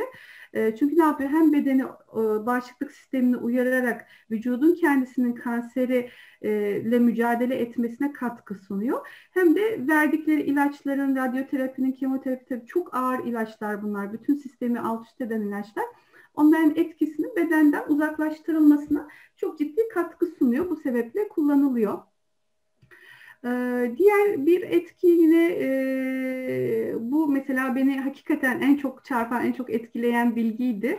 Ee, bizim ne, diyafram kasımızın kasılmasından, nefesimizden bağımsız çalışan hiçbir hormonumuz yok. Yani bizim nefes kapasitemiz, e, diyaframımızı tam kapasite kullanamıyorsak bedenimizde optimum düzeyde bir hormonal dengeden bahsetmek mümkün değil. Her ne kadar bizim yaptığımız testlerde o hormon değerleri normal sınırlarda çıksa dahi optimum bir e, denge e, sağlamak mümkün değil. Neden değil? Çünkü bizim karın içerisinde ne var? Böbreklerimiz var. Böbrek üstü bezlerimiz var. İşte kadınlarda rahim yumurtalıklar var. E, ve bunlardan e, salgılanan ciddi e, işte bedeni e, bütün sistemlerimizi etki eden hormonlar var. Ve zaten daha yukarıdaki e, hipofizde, hipotalamusta, beyin içerisinde salgılanan hormonlar aşağıdan gelenlerin etkisiyle zaten işlev görüyorlar. E, onlar tarafından e, karın içinde salgılanan hormonların etkisiyle orada e, düzenleniyor miktarları, salınımları. E, sonra burada e, tiroidimiz var yine tam nefes borumuzun altında. O da nefesten bir şekilde etkileniyor. Yani bir şekilde bütün hormon düzeylerimizi e, etkiliyor. Diyaframımızı ne kadar kullandığımız. Zaten böbrek üstü bezlerimizden salgılananlar direkt vagus siniriyle adrenalin, noradrenalin sistemi orayla zaten ilişkili. Böyle çok e, inanılmaz bir şey var. Muhteşem bir denge ve e, iletişim var aralarında. E, yine hormonal dengeye geliyoruz. Nefes e, diyaframımız açıldıkça. Yani çok ilginç bir bilgi yine e, fizyoterapistlerin yaptığı çalışmalar var. Sebebi saptanamayan pelvik ve e, bel ağrılarında e, diyafram kasının çalışmaması bulunmuş sebep olarak. Herhangi bir belde işte e, fıtık yok, bir şey yok, kayma yok, herhangi bir şey yok. Kaslarda, kemiklerde bir şey yok. En son diyafram kasına bakılmış ve diyafram kasının bu kişilerde çalışmadığı ve çal diyafram kası hareketlendiği zaman sırt ve bel ağrılarının e, rahatladığı görülmüş. Niye? Çünkü diyafram kasının arka kubbenin arka lifleri çok uzun ve bel kaslarımızla birleşiyor aslında uçları. Bu sebeple orada bir şey oluşuyor. Yani muhteşem bir sistem var. Neredeyse tüm sistemlerimizi etkiliyor. Yani ee, göre nefes alabilir, alayım ya da almayayım diyemiyoruz. Bedenimizin istediği, evet. arzu ettiği o denge için almamız gereken esasında bir nefes var. Almadığımızda e, gerek lenfatik sistem, gerek bağırsaklar, gerek sırt ve bel kasları hepsi bir şekilde etkileniyor. Aynen. Zaten hani akciğer hastalıklarına direkt terapatik etkisi var, tedavi edici etkisi var zaten. Ee, mesela bir göğüs uzmanı nefes terapisti arkadaşım biriyle tanışmıştık bu eğitimlerde şunu söylemişti. 80 küsur yaşında tamamen yatağa bağımlı nefes e, darlığından dolayı koa hastası. Bir hastasıyla e, işte 3 seans çalıştığını söylemişti. Ve 3 seansın sonunda ağlayarak bahçeye çıktım geziyorum diye beni aradı demişti. Bu çok çok değerli bir şey. Çok değerli. Yani bir koa hastasının e, o noktaya geldikten sonra yeniden o hareket kabiliyetini kazanabilmesi çok değerli bir bilgi gerçekten. E, peki daha ötede ne olabilir? Daha ötede fiziksel etkilerini deneyimledik. Bir de zihinsel e, şeyleri var, etkileri var. E, zihinsel boyutta da bizim nefes kapasitemiz ne kadar düşükse ve sol beynimiz ne kadar aktif çalışıyorsa o kadar aslında sempatik sinir sistemimiz aktif oluyor. Ve sempatik sinir sistemimizin aktif olması uzun vadede bizim bütün sistemlerimizi yoran, yıpratan hani e, adrenalin sporları için denir ya hızlı yaşa genç öl diye. E, hak, hakikaten bütün beden hücrelerimizi hızlı bir şekilde tüketen e, bir e, tempo oluşturuyor. Ne kadar uzun süreler, ne kadar sıklıkla e, sempatik sinir sisteminde kalırsak o kadar hızlı şekilde hücrelerimiz yıpranıyor. O kadar hızlı şekilde bedenimiz e, sağlığından ödün vermeye başlıyor. E, işte ne yapıyor? O vagal uyarımlarla parasempatik sistem uyarıldıkça aslında bizim sağ beyin, sol beyin dengemiz yerine gelmeye başlıyor. Sağ sol beyin dengelendiği zaman e, aslında bizim zihinsel olarak çok ciddi bir e, berraklık yaşamaya başlıyoruz. Neden? Çünkü bil, bil, hepimiz biliyoruz ki zih, bizim zihnimiz sürekli bir üretme, sürekli bir faaliyet halinde. Onun programı bu zaten, çalışması bu zaten. Ama hani e, bir yandan da deniyor ki e, aslında zihnimizde işte dakikada şu kadar, saatte şu kadar düşünce geçiyor ve onların aslında yüzde sekseni, doksanı bizim şu anımıza hiçbir hizmeti olmayan, hiçbir katkısı olmayan çöp düşünceler. Nedir çöp düşünceler? Ya işte geçmişte yaşadığımız deneyimlerin tekrar tekrar e, zihinsel olarak gündeme getirilmesi veya da işte gelecekle ilgili kaygılar vesaire aslında bizim şu anımızda hiçbir hizmeti olmayan e, bir faaliyet gösteriyor zihnimiz. İşte bu parasempatik sistem aktive oldukça, sağ beyin aktivasyonu arttıkça zihnimizin e, şeyi daha o çöp düşüncelerden arınmaya başlıyor. Çöp düşüncelerin yükü azaldıkça bizim konsantrasyonumuz ve odaklanmamız artıyor. Özellikle hani e, odaklanma gereken işler yapıyorsak, e, konsantrasyon gerektiren işler yapıyorsak bize çok ciddi bir katkı sağlıyor. Bunun yanında anksiyete bozukluklarında, işte depresyon gibi e, durumlarda çok ciddi e, tedaviye katkı sağlıyor nefes terapileri. Zihinsel boyutta da yine e, travma ile alakalı bir kitap okumuştum. Orada şeyden bahsediyordu. Yukarıdan aşağı sistemler ve aşağıdan yukarı sistemler diye. Hmm. E, hani beyinle e, bizim yaptığımız terapilerle alakalı e, parasempatik sistemin hakim duruma gelmesi, sağ ve sol beyin arasındaki dengenin kurulması yukarıdan aşağı sistem olarak. Şu an mesela nefes terapisi aslında aşağıdan yukarıya bir sistem. Çünkü aşağıyı çalıştırıyoruz ve bu yukarıda bir dengelenmeye evet. sebep oluyor. Evet. İşte mesela hormonlarda da öyle yapıyor ya aşağıdakiler dengeleniyor. Aşağıdan dengelenmesi yukarıyı dengeleniyor. Çünkü yukarıdakiler aşağıdakilerin uyarısıyla çalışıyor zaten. Yani vücudumuzda zaten hani kendi başına şöyle başına alıp gidip ben kendim çalışacağım diyen bir şey yok. Bir sistem yok. Hepsi hani şöyle tırnakla et gibi birbirine bağlı durumda zaten bütün şeylerimiz, bütün sistemlerimiz. İşte bunlardan e, nefes de bunların hepsine e, ciddi bir şey sağlıyor. Bu bütünlüğün daha iyi deneyimlenmesi konusunda ve sadece bedensel bütünlüğümüzde değil, duygu, düşünce, enerji, farklı boyutlarımızın da bütünlenmesi konusunda çok ciddi bir katkı sağlıyor aslında bizim e, hayatımıza. Ee, peki daha e, da öte ne olabilir nefes çalışmalarında? Ee, tabii daha ötesini ancak deneyimlersek göreceğimiz şeyler ama bizim e, bir hocamızın çok güzel böyle bir metaforla anlatmıştı. Çok hoşuma gitmişti. Çok seviyorum onu paylaşmayı. Onu da paylaşmak isterim. Ee, şimdi biz hepimiz doğduğumuzda aslında çok böyle hani sıfır noktası gibi kabul edersek e, çok böyle saf ve hani e, en azından diyafram açısından çok böyle açık bir şeyle geliyoruz. E, ve şöyle demişti, e, anlatmıştı hocamız, bunu mavi gökyüzü gibi düşünürsek, diyaframımız kısıtlandıkça aslında hayatımıza da böyle yavaş yavaş gökyüzümüze de bulutlar e, gelmeye başlıyor. Veya biz işte yaşadığımız deneyimlerle o mavi gökyüzü kapanıyor. Bulutlu bazen bazımızda parçalı bulutlu oluyor, bazımızda tamamen kapalı oluyor.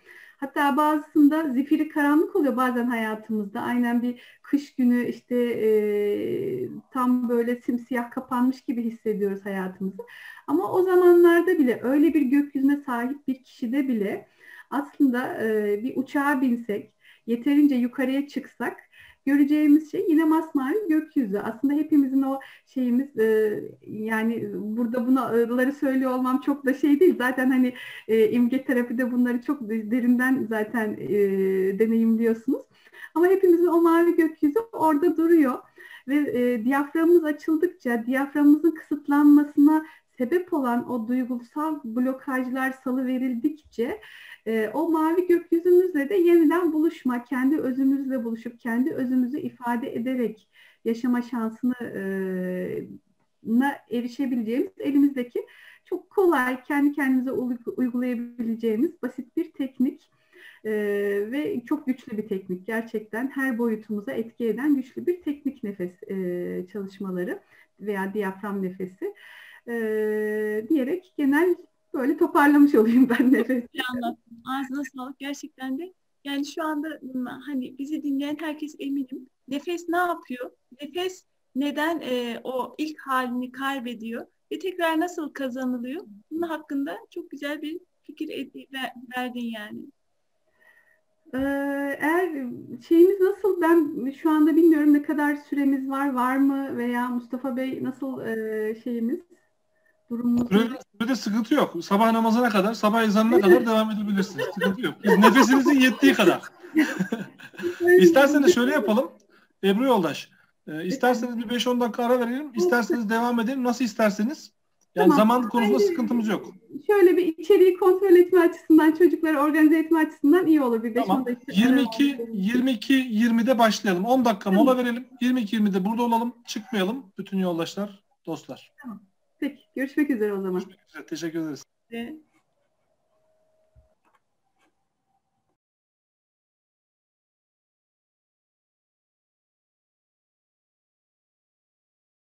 ukala tavırlar adamın asabını bozuyor. Sus bak. Sustum öğretmen.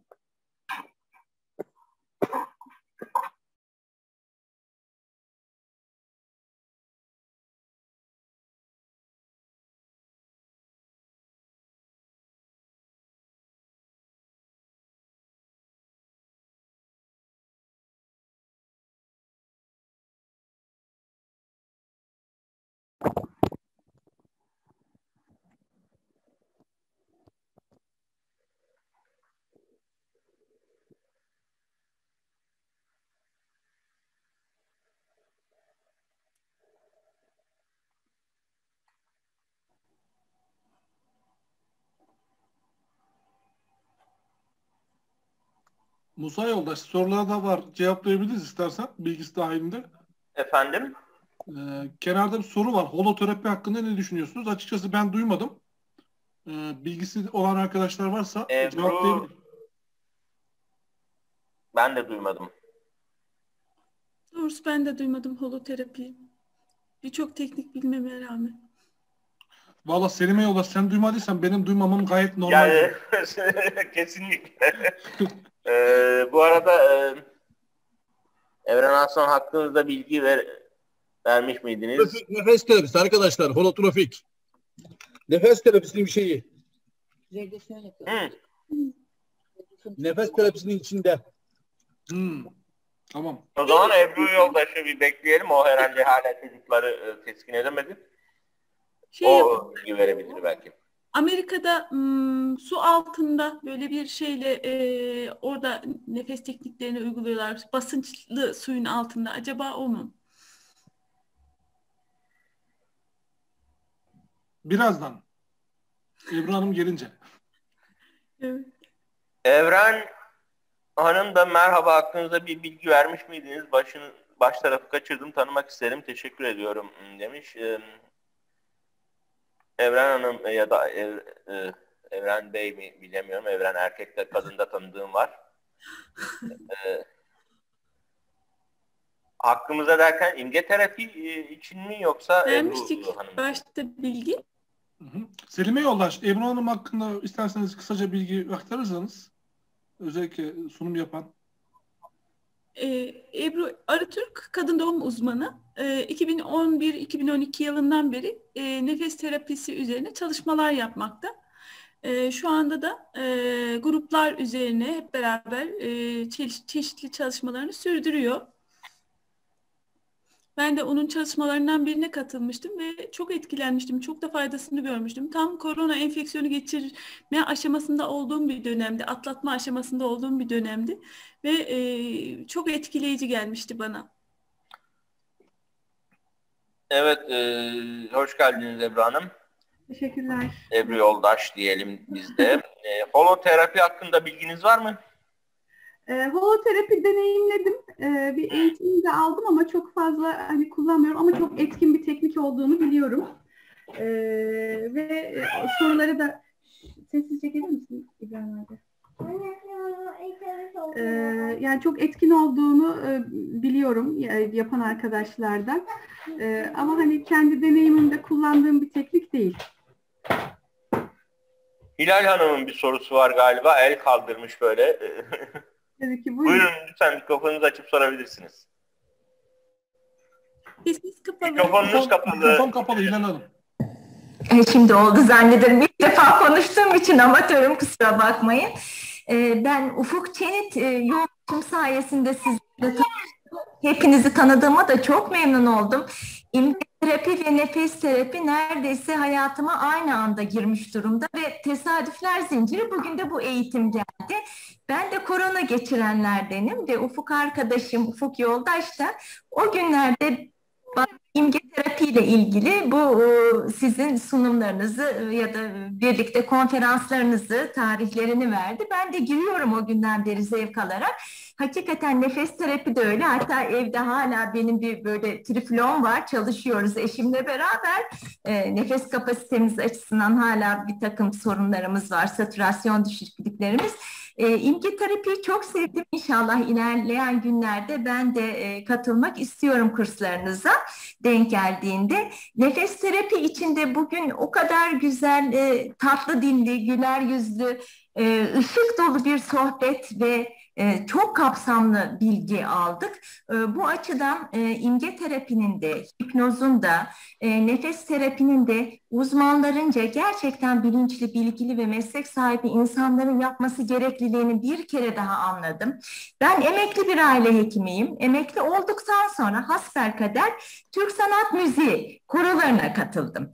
Bu koro çalışmalarında şan dersleri oldu. Şan dersleri alırken ilk nefes terapiyle e, karşılaştım ve o zaman tanıdım.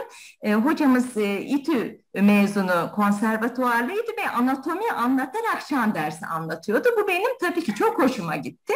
E, o kadar e, ihtiyaç var ki toplumda. Biz Sarıyer bölgesindeyiz. Sarıyer'de inanın ki bir e, larynx polibi, laringeal e, nodülleri olan, ses kısıklığı ve hiç e, ameliyat sonrası konuşamayan insanlarla beraber mesela bir imam bey vardı. İmam Bey e, heyecandan e, ezan okuyamıyor. Yani ona bir şan dersiyle nefesini kullanması ve diyaframı kullanarak e, bu anksiyetesini atması, hani cümlenin sonuna kadar nefesini nasıl tutup nasıl bırakması gerektiği, bunu bir e, İTÜ'lü şan e, hocası ona nefes terapi verdi. E, görüyorum ki aslında nefes terapi için toplumda çok bir, büyük bir ihtiyaç var ve insanlar insan arıyorlar aslında e, ve ilgili kişiyi bulamıyorlar. Buldukları insan biraz yeterli, biraz yetersiz oluyor. E, bunun için bu konuyu da hakikaten meslek sahibi insanların üzerlerine almaları, bir şekilde sahiplenmeleri lazım. Bugün Ebru Yoldaş'tan da o kadar güzel, kapsamlı, sistem sistem anlattı ki içime tekrar yer etti. Tekrar teşekkür ediyorum. Ee, ben de COVID geçirme sürecinde gerçekten normal bir akciğer kapasitesi eğer sizin dediğiniz gibi normal nefes alma verme ile 500 mililitre oksijen karbondioksit değiştiriyorsak zorunlu inspirium yani ekstra nefes almayı sağlarsak 3100 mililitreye çıkartabiliyoruz e, bedava oksijen, bedava oksijen. Kendimizin alabileceği, ciğer kapasitemizi tam randımanlı kullanacağımız ve her sistemi, bağışıklık sistemi dahil anlattınız işte bütün organ doku sistemlerine has yararlanım sağlayabileceğimiz bir sistem. Gene nefes verirken de 1200 mililitreye kadar çıkartabiliyoruz ve karbondioksit değiş tokuşu yapabiliyoruz. Yani ne kadar güzel bunu bilimsel çerçevede anlatıp devam ettiğimizde toplumsal e, bir e, terapi, fizik tedavidir aynı zamanda. E, eşim yoğun bakıma girmekten zor kurtuldu ve akciğer tutulumu olduğu için de fibroz gelişmemesi için iki ay daha bu nefes terapilerine devam etmemiz lazım. Biz Triflof'yu da ekledik. Onunla da çalışıyoruz. Bir, birazdan pratikleriniz olacak. Zevkle de katılacağım zaten. Fakat hakikaten nefes terapiye toplumda çok açıdan çok yönlü ihtiyaç var. Ben bir hekim olmama rağmen COVID geçirirken bunu ekstra e, eksikliğini hissettim. Göğüs hastalıklarından arkadaşlarım bana yardımcı oldular. E, bir takım şeyleri onların açısından dinledim. Sizin uzmanlık dalınızda gene siz anlattınız. Farklı uzmanlık dallarında da birleştirildiğinde çok geniş bir saha. Gene imge terapi de aynı şekilde her iki e, grupta da ben şunu görüyorum ki işi ehillerine, meslek sahiplerine, çok yönlü görüş açısı olan sizler gibi güzel insanlara vermek lazım.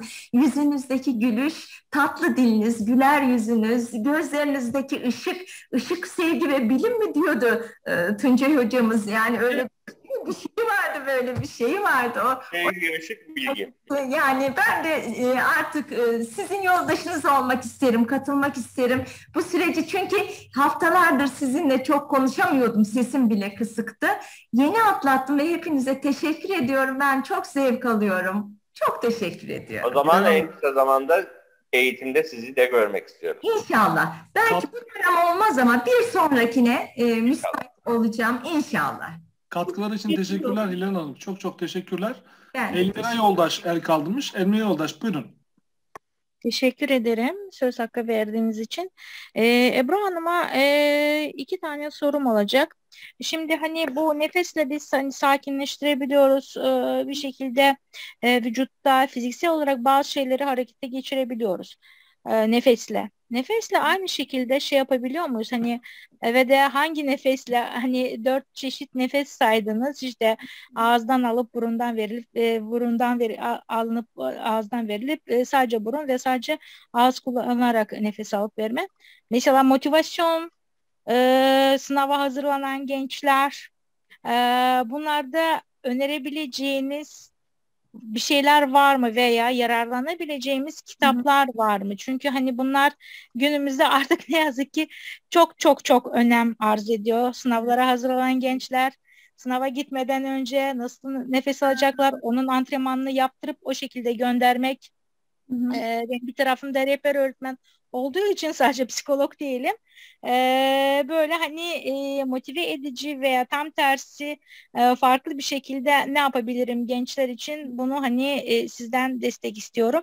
Çok teşekkür ediyorum. Bir de kitap önerisi. Şimdi nefes tabii ki yani ne kadar e, diyafram nefesini kullanabiliyorsak, diyafram kullanabiliyorsak o kadar hayatın deneyimlerini sınavda tabii ki buna dahil o kadar rahatlıkla, o kadar sakinlikle ve dinginlikle karşılama şansımız oluyor. Bu sebeple en idealde olanı tabii ki e, diyaframın açılması, diyaframı açmaya yönelik çalışmalar. Ama tabii böyle çok akut durumlarda da kullanılabilecek şeyler var. İsterseniz hemen oradan da bir giriş yapmış olalım deneyimlere. Birkaç e, böyle hani en azından e, böyle çok temel duygularımızı bize zora sokan, günlük hayatta çok karşılaştığımız duygu durumlarında neler yapabiliriz? Onlarla ilgili birkaç pratik göstermek isterim.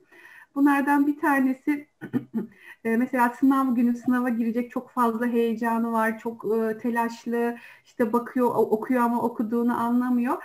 E, veyahut da hepimiz hayatta karşılaşıyoruz. Bir yere yetişmemiz gerekiyor, bir şey oluyor. bir panik, bir telaşa kapılabiliyoruz. Ne kadar sakin bir insan olsak dahi böyle anlar yaşadığımız olabiliyor. Bu durumlarda kullanabileceğimiz bir teknik var. Çok da basit. E, ne, ne demiştik? E, sakinleştiren nefes çeşidi su, su enerjisinin aktif olduğu nefesler. Yani burundan alıp ağızdan verdiğimiz nefesler sakinleştirici nefes etkisi, e, sakinleştirici etki gösteriyor. Çok basit bir teknik olarak şöyle derin güzel bir burun nefesi alıp yine alt karnımıza doğru E, üç defa kesip kesip bir defa da uzun şekilde üflüyoruz. Biz bunu mesela doğumda da çok kullanıyoruz. İşte doğum çok hızlı gidiyor ama bir yavaşlamaya ihtiyacımızın olduğu bazı durumlar olabiliyor. E, o hızı biraz e, sakinleştirmek için kullanıyoruz orada da. Ama günlük hayatta da benim çok sık kullandığım özellikle hani evladı olanlar, küçük çocuğu olanlar ben mesela ufaklıklara öğrettim. Biri 6 yaşında, biri 4 yaşında. Tabii kendileri yapmıyorlar. E, ne zaman benim sesim biraz yükseldi. Anne hadi bir nefes yapsana diye bana geri çeviriyorlar. Onlara öğrettiğim nefesi. E, öyle bir teknik var. Şöyle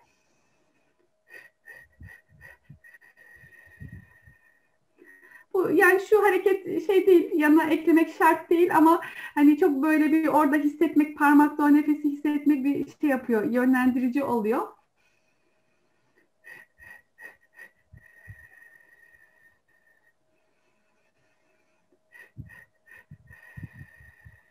Üç defa, dört defa kesik kesik verdikten sonra bir kez de uzun verip sonuna kadar nefesi boşaltmak.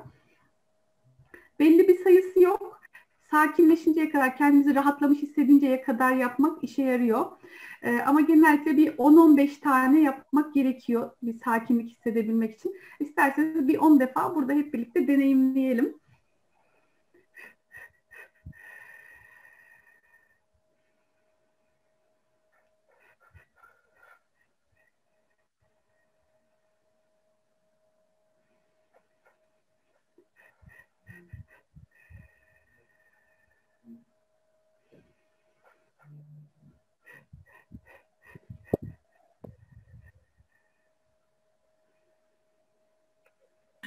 Ben Red Kit'i hatırladım.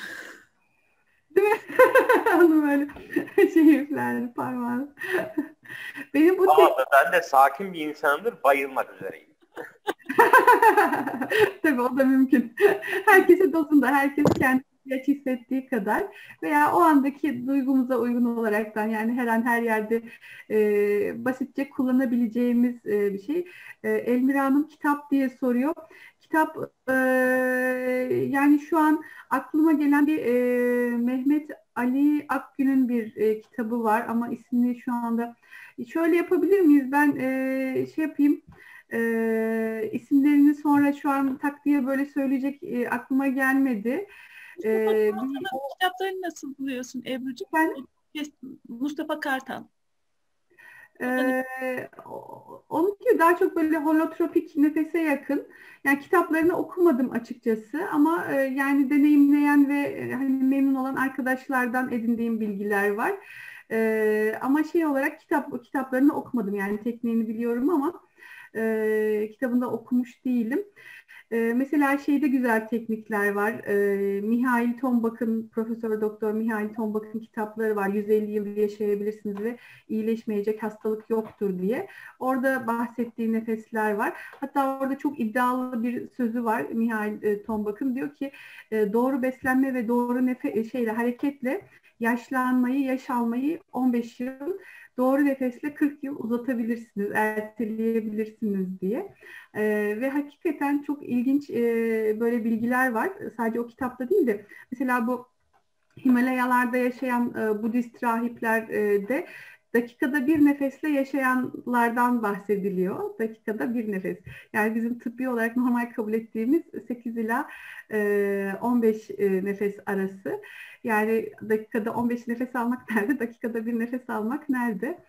E, ve yani buradan e, tabii çok da her şeyi birbirine bağlamak da e, şey, uygun olmayabilir ama hani ne bileyim inanç olarak da nefesler sayılıdır gibi bir kültürümüzde böyle bir bilgi olduğu için e, yani belki diyorum ömrün bereketi hani uzayıp kısalması da göreceli olarak nefesle çok yakından alakalı olabilir dedirtiyor bunu duymak bana. Hani de, dakikadaki Himalayalar gibi bir yerde yani sonuçta yükseğe çıktıkça nefes zaten zorlaşan bir durum. Daha böyle hızlı nefese eğilimimizin olduğu bir durum ve Himalaya dağlarında dakikada bir nefesle yaşayan insanlardan bahsediliyor. Bu derece nefes şeyi gelişmiş, farkındalığı gelişmiş. Oksijen var mıymış orada? Efendim? Oksijen var mıymış orada? Olmayan oksijenden de dakikada bir, bir sefer alarak yaşıyorlarmış. Ee, tabii yani çok merak ediyorum açıkçası. Yani bilmiyorum günün birinde deneyimlemek nasip olur mu oraları ama çok merak ediyorum gerçekten.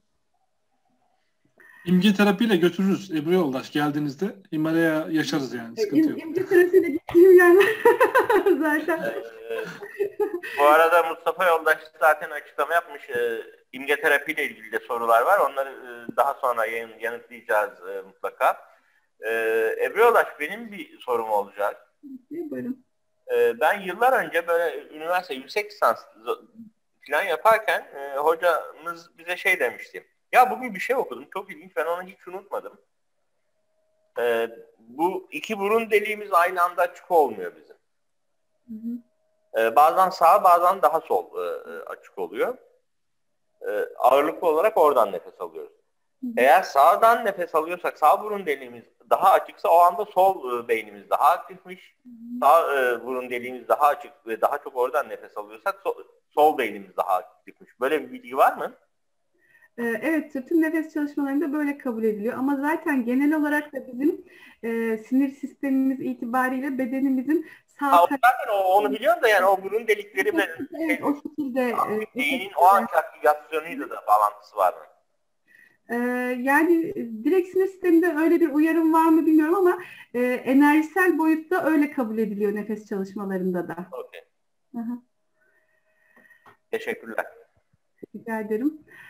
Ee, tabii baştan belirttiğim gibi bütün nefes tekniklerine, bütün nefes çalışmalarına hakim değilim. O yüzden ancak bilgim dahilinde olanlara bilgim olduğu kadar cevap verebiliyorum. O yüzden eksikler kalıyor olabilir sorularda. Ee, kusura bakmayın diyorum. Onu deneyimledik. Ee, bir diğeri başta da belirtmiştim. Enerjimiz düşük, hiçbir şey yapmak istemiyoruz. İşte yataktan kalkacak halimiz yok ama bir e, gidecek bir işimiz var, yapacak işlerimiz var. O zaman kullanabileceğimiz e, bir nefes var. Bu da ağızdan alıp burundan verme şeklinde ateş enerjisini aktive eden e, bir nefes tekniği. Burada da yine mümkünse dik bir şekilde oturuyoruz. E, omurgamız dik olacak şekilde. Yine şöyle karnımıza doğru, alt karına doğru güçlü nefes alıp ağızdan, burundan tek hamlede veriyoruz. Bunu 10 defa hızlı hızlı yaptıktan sonra şöyle birkaç sakin nefes alıyoruz, normal nefes alıyoruz. Sonra bir 10 tane daha yani böyle 10 sefer 10, 10 nefes 10 nefes setler halinde yapıyoruz. Bunda ne kadar yine enerjimiz evet iyiyim, daha iyi hissediyorum, e, işime gücüme bakabilirim de, diyene kadar devam edebiliriz. Belli bir sayısı yok bu çalışmaların.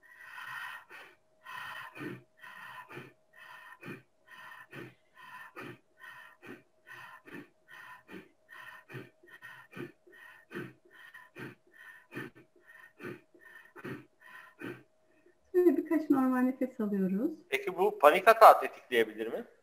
Çok uzun süre yapılırsa tetikleyebilir. Çünkü hani şeyde çok yüksek bir frekans ortaya çıkarıyor çünkü. O yüzden hani bunları önerirken de hani çalışırken de e, birazcık kendi, kişinin şartlarını da göz önünde bulundurmak lazım. Ama tabii ki hani e, kontrollü bir şekilde yapılmasında bir sakınca var mıdır bilmiyorum yoktur diye düşünüyorum açıkçası. Çünkü nefesin kendisi aslında yani bu sadece bunu kullanmak tetikleyebilir ama nefes terapileri aslında panik atak ve anksiyete bozukluklarında etkinliği çok güçlü olan çalışmalar. Selim Hocam bir şey mi söyleyecektin? Yok yok ben e, sadece hayran hayran baktım çünkü mesela kendi başıma deneyimlerken bu şekilde senin yaptığın gibi yapamam yani. Birinin eşliğinde bilen birinin eşliğinde çok farklı o- o- olacağını tekrar hatırladım yani. Aslında her şey için öyle. Sadece nefes için değil, hepsinde bütün çalışmalarda böyle. Ee, biri de bu. Bir diğeri e, mesela bazılarının şeyi çok yüksektir. E, işte e, sol beyin aktivitesi, zihinsel aktivitesi ve uykuya dalmakta veyahut da hani sakin insanların bile bazen hani çok böyle bir şeye takılırız, bir düşünceye ve uykuya dalmakta zorluk çekebiliriz. Orada kullandığımız bir e, çalışma var. Bu sizin e, Musa Bey sizin sorduğunuz soruyla da biraz alakalı bu şeyin cevabı. E, orada da şöyle bir e, nefes tekniği var. Çok şükür ben çok böyle nef- e, uyku konusunda zorluk çeken bir insan değilim ama e, ihtiyaç duyduğum birkaç sefer oldu ve her seferinde benim işime yaradı. E, önerdiğim birkaç kişiden de olumlu dönüşler aldım. E, inşallah diyorum hiç ihtiyacımız olmasın ama öyle ihtiyacımız olursa e, uykuya dalmakta zorlandığımızda kullanabileceğimiz bir teknik var. Burada sağ tarafa yatıyoruz ve sağ burun deliğini kapatıyoruz. Ve sol burun deliğiyle normal e, hızda e, 20-25 defa nefes alıp veriyoruz. Şimdi 25 defa almayacağım burada. Uyku moduna da geçmeyelim diye. Bir 5 tane falan.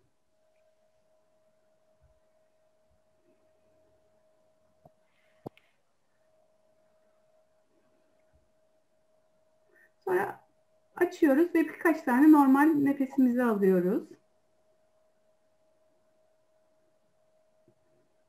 Sonra ardından tekrar kapatıyoruz ve bir tık daha yüksek hızla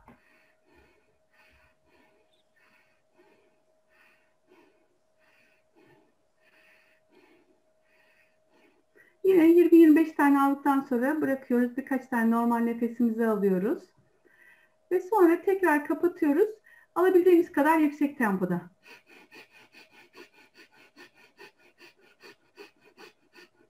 Sonra bırakıyoruz. Benim genellikle son hatırladığım hala dalmadım oluyor. En son hatırladığım şey o oluyor. Her seferinde benim işime yaradı. Ee, inşallah hiç ihtiyacınız olmasın ama ihtiyaç olduğu durumlarda denenebilecek basit bir teknik. Buradaki şey mesela Musa Bey e, yani biz sağ burun deliğini kapattığımız zaman soldan aldığımız zaman aslında sağ beyin aktif, aktivasyonu sağlamış oluyoruz. Parasempatik sinir sistemini aktive etmiş oluyoruz. E, o zaman direkt o zaten sol beyin e, şey olunca e, bastı, baskılanınca e, hesap kitap meselelerini hayatımızdan bir çıkarıyoruz. Efendim? Hesap kitap meselelerini hayatımızdan bir çıkarıyoruz. Aynen aynen. Onları bir kenara koyunca gönül rahatlığıyla gözlerimizi kapatıyoruz. o şekilde oluyor. Ee, şimdi şöyle bir açıp bakayım. Ee, bende neler vardı.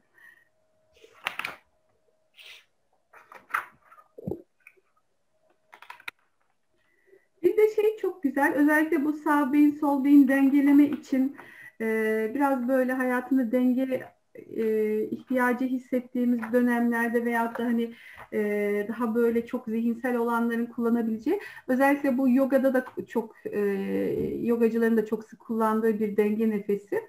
Bunda da şöyle yapıyoruz. Her iki burun deliğiyle sırayla alıp veriyoruz. Ama önce şöyle. Önce güzel bir nefes alıyoruz iki burun deliğimizde açıkken.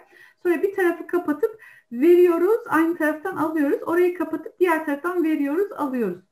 Bunu e, yani en az bir e, 10 dakika devam etmek öneriliyor. Yani günlük hayatımıza alıp da gerçekten onun etkisini e, hissedebilmek için ve gerçekten çok etkili benim kendi hayatıma aldığım, kattığım nefeslerden birisi ve gerçekten faydasını da gördüğüm e, çalışmalardan birisi. İlk önce iki burun deliğimizle alıyoruz. Sonra ver al. Ver al. Bu ne sağlıyor demiştin e e Ebru'cum? Sağ sol beyin dengelemesi yapıyor. Tamam.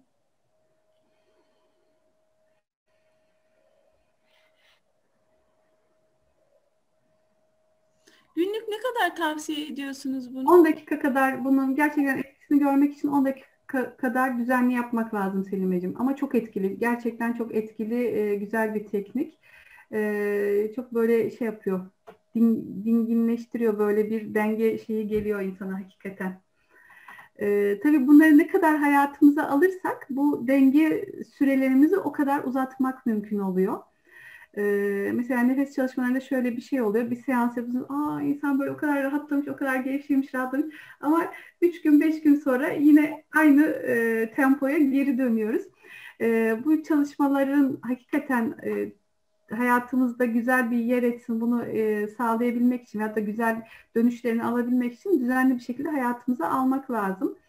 E, ama mesela diyafram nefesi bir açıldıktan sonra bir diyaframımız bir 8 santim 10 santim hareket etmeye başladıktan sonra nefesi ağızdan almışız, burundan almışız hiç fark etmez. Her zaman o diyafram çalışıyor ve her zaman o diyaframın çalışmasıyla birlikte biz bu yaşımıza kadar, bugüne kadar oraya bloke ettiğimiz e, enerji blokajlarını salıvermeye devam ediyoruz. E, o, o sebeple... Karnımıza ağırlık koydurmuştun 2-3 kilo. Evet. Tuz mu Evet. koy- makarna mı ne koymuştuk hatırlamıyorum ama kaçıncı günden sonra koymuştuk onu? Efendim? Kaçıncı günden sonra e, onu koymuştuk? Yani ilk 2-3 günden sonra birazcık vücut adapte olduktan sonra e, kullanıyoruz. Tabii bu şey değil. Hani yüz yüze e, çalışmalarda da kullanıyoruz ama çok sıklıkla değil. Şimdi şeyde e, dönüşümsel nefeste akupunktur noktalarını da çünkü akupunktur noktalarını bilmiyorum belki aramızda akupunkturla ilgilenen de vardır. Çok hakim de olmamakla birlikte genel olarak zaten bedenimizde duyguların bloke olduğu noktaları e, daha çok hani e, kullanılıyor. Veyahut da o noktalara işaret ediyor zaten. E, biz de o noktalara akupres, e, oralara baskı uygulayarak, akupunktur noktalarına baskı e, uygulayarak şey yapıyoruz e, çalışıyoruz. Ama tabii online çalışmalarda öyle bir şansımız olmadığı için onun yerine ağırlıklar Bilmem gerekiyor yani. Ee, peki herhangi bir soru varsa alabilirim. Değilse böyle bir 10-15 dakikalık bir e, dönüşümsel nefes çalışması yapabiliriz. Bilmiyorum. Burada bana bir şey var mı? Ben bir şey e, söyleyebilir miyim? Tabii ki direkt yollar. Ee, Ebru e, Yoldaş, çok teşekkür ederiz. Çok güzel bir sunumdu. Bir, biraz geç katıldım. Ee, e, Başka bir toplantıdaydım ama harika bir sunumdu. Çok teşekkür ediyoruz. Ben de bir anestezistim. Ee, e, Sizle birlikte ortak çalışıyoruz. Yani onu demek istiyorum. Zaten şey nefesle e, normal e, doğamızın gereği doğuştan var olan fizyolojimizi yakalamaya çalışıyoruz. Aslında yeni doğan bebekler nasıl nefes alıyor bahsettiniz herhalde tam da bilmiyorum. Özgürce nefes alıyorlar, abdominal soluyorlar, diyafram solunumu yapıyorlar ve herhangi bir duygu sıkışmaları yok yeni doğanların. Hiçbir şekilde hani işlerinde biriktirdikleri bir öfke, e, e, nefret ya da kırgınlık duygusu ya da olumsuz bir duyguyu içerlerinde e, hapsetmemiş durumdalar. O yüzden özgürce nefes alıyorlar. E, bu nefesleri sayesinde e, tabii interkostal adaleler arasındaki refleks açığa çıkıyor. O refleksle tüm beden gevşemeye başlıyor ve döngü tersine döndürülmüş oluyor. Duygusal sıkışmaların yol açtığı bedensel kasılmalardaki o döngü tam tersine dönüyor. Bu sefer beden gevşediği için bir süre sonra zihin de gevşemeye başlıyor. Nefes gerçekten çok önemli. Ee, bizim bilinçaltımızda, yaratılışımızda kayıtlı olan diyafram solunumunu e, belirli bir süre sonra artık unutmaya başlıyoruz. E, mümkünse onları tekrar geri kazanarak hayatımıza e, yeni bir şekilde, yeni yaşam enerjisiyle devam ettirmemiz gerekiyor. Katkılarınız için çok teşekkür ediyorum. E, çok güzel bir sunumdu. Emeğinize, yüreğinize sağlık. Çok memnun oldum. Ben çok memnun oldum. Çok teşekkür ediyorum. Ee, orada şey de e, hani yeni doğandan bahsettiniz. Ee, mesela bir yeni doğan bebeğin olduğu odaya aslında o odada bebek olduğunu bilmesek bile girince bir enerji farklılığı insan fark eder. Ve bunun ben o açık e, dediğiniz gibi hiç o duygusal blokajlara maruz kalmamış o açık nefesin enerjisiyle çok yakından alakalı olduğunu düşünüyorum. Çünkü yani orada bebek olduğunu bilmese bile insan girdiğinde o odada bir e, farklı bir enerji mutlaka hissediliyor. Onunla da çok yakından alakalı diye düşünüyorum. Evet, heyecanlanınca sakinleşmek için bir teknik var mı diye e, şey yapılmış. İlk başta konuştuğumuz o e, burundan alınıp derin bir burun nefesi alıp üç kez kesik kesik dördüncü de uzun şekilde vermek. Bu çok sakinleştirici. Hakikaten çok etkili bir e, teknik. Ama daha uzun vadede genel olarak hayatıma sakinlik istiyorum diyorsanız günde bir 15 dakika en azından e, bunu hani ideali 45 dakikadır ama 15 dakika sakin, kimsenin olmadığı, biraz ışıkların e, işte e, loş olduğu, e, ses izolasyonunun biraz mümkün olduğu bir ortamda omurganız dik bir şekilde oturup sadece nefeslerinizi takip etmek. Sadece nefesi İşte düşünceler muhakkak gelecektir çünkü zihni durdurmak diye bir şey söz konusu değil. Ama gelen düşüncenin akıp gitmesine izin vererek, ona takılıp kalmadan hep nefese dönerek, nefese dönerek orada kalmak uzun vadede hani hayatımıza sakinliği almak için genel olarak e, parasempatik sinir sistemimizi daha aktif tutup daha dingin, daha dengede bir hayat tarzı e, elde edebilmek için böyle bir egzersiz e, günlük yapılabilir. Dediğim gibi ideali 45 dakikadır bunun. E, ve gerçekten e, mucizevi bir şekilde şey değişir. E, ama bir 15 dakika bile hayatımıza çok ciddi e, güzel bir katkısı olur. Ama akut durumlarda da işte de, de, demişsiniz ders e, işte anlatırken e, topluluk önünde vesaire o nefesi kullanabilirsiniz. Ee, birkaç soru daha var. Didem Yoldaş, ağrımız olduğunda uygulayabileceğimiz nefes ee, Ağrımız olduğunda ben e, hani bu, kullandığım şeyler oldu. Özellikle o ağrının olduğu bölgeye, özellikle kas ağrılarında çok çok etkili. E, farklı ağrılarda denediğim oldu. Hem kendi üzerimde hem farklı kişilerde. Hepsinde güzel sonuç aldım. Oraya e, hafif bir işte baskı uygulayıp da elimizi oraya koyup da nefesimizi oraya yönlendirmek ve e, nefeste kalmak şeyi çözüyor. Özellikle e, mesela işte gaza bağlı ağrılarda o gazın sıkıştığı noktaya eli bastırıp oraya nefesi yönlendirmek. Kaslarda mesela bu boyun tutulması falan yaşadığımızda özellikle oraya baskı uygulayıp oraya nefesi yönlendirmek genel olarak rahatlama sağlıyor. Ama tabii ağrının sebebi de çok önemli. Yani bütün ağrıları da nefes geçirecek diye bir şey yok tabii ki.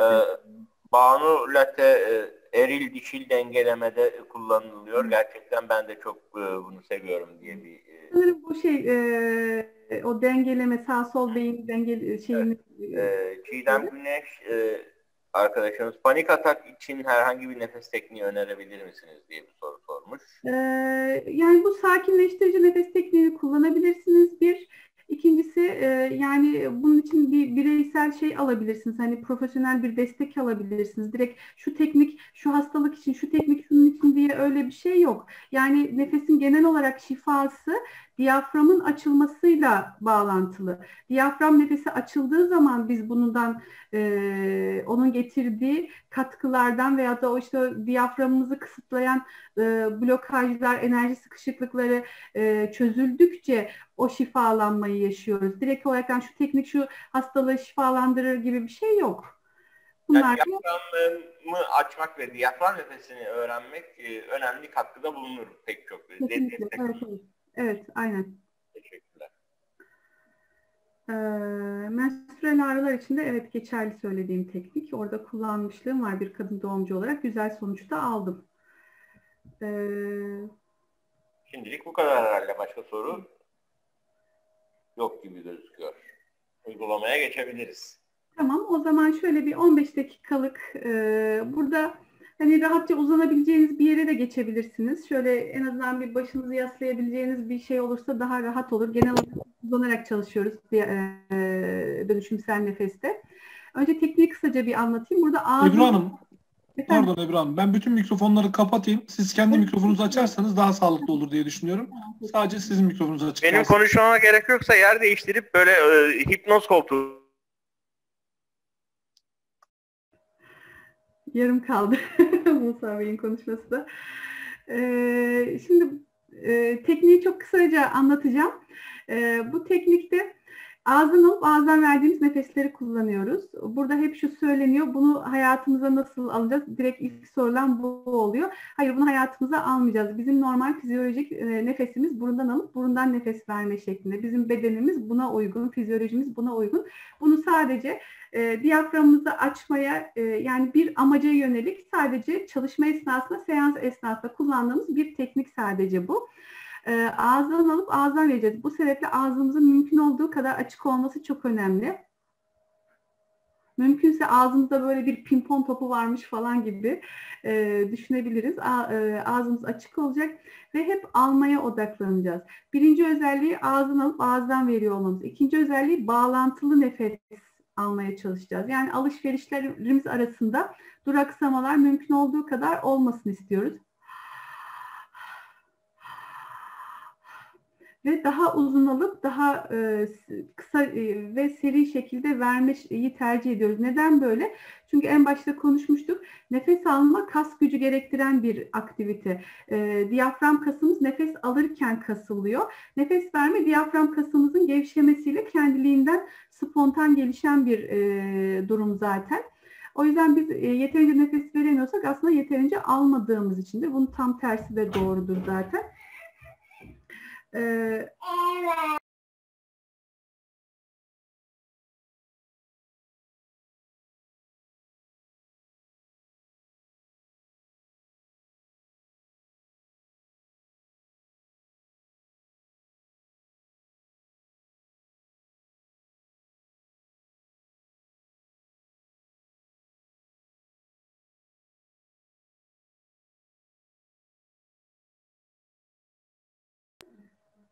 Ee, bir çember gibi düşünürsek bu bağlantılı nefesi ve bu çemberi de üç parçaya bölersek iki sefer iki parçada alıp bir parçada verme şeklinde daha böyle alma odaklı çalışıyoruz. En azından alışverişlerimiz birbirine eşit olsun. Verişimiz alışımızdan daha fazla olmasını istiyoruz. Çünkü bu beden bedensel olarak çok ciddi sonuçları olabiliyor. Aramızda bir anestezist var. E, respiratuar alkoloza sokmak istemeyiz hiç kimseyi. E, teknik bu şekilde. Tabii bu bedenimiz için çok yeni bir teknik, çok e, alışkın olmadığımız bir şey. Bu sebeple yine de şeyler olabiliyor. Hani e, bizi zorlayabiliyor bu teknik, yorucu olabiliyor. O yüzden ben ara ara diyeceğim ki hadi tonlayalım diyeceğim bir beş dakikada bir falan. O zaman ne yapıyoruz? Güzel bir nefes alıp bu arada bütün nefesleri şöyle elimizi kasıklara koyup alt karnımıza doğru alıyoruz. Oraya doğru yönlendiriyoruz nefesimizi. Tonlayalım dediğimde güzel bir nefes alıp Aa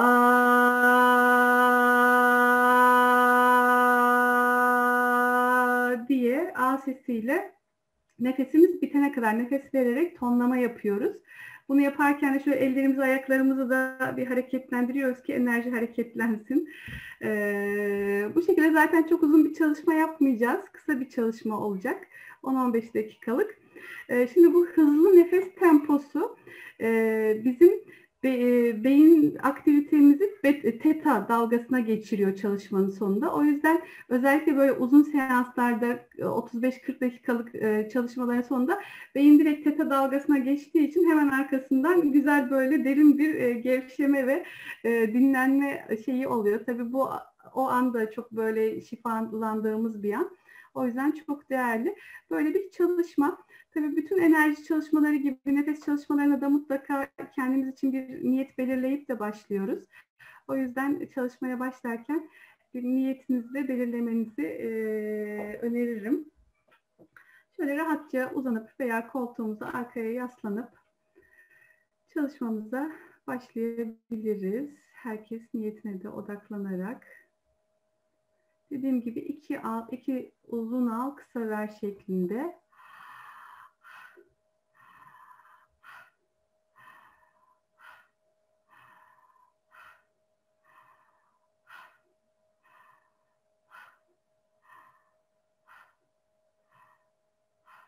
Gözlerimizi kapatıp nefese odaklanmak bizi daha e, çalışmanın içinde tutar.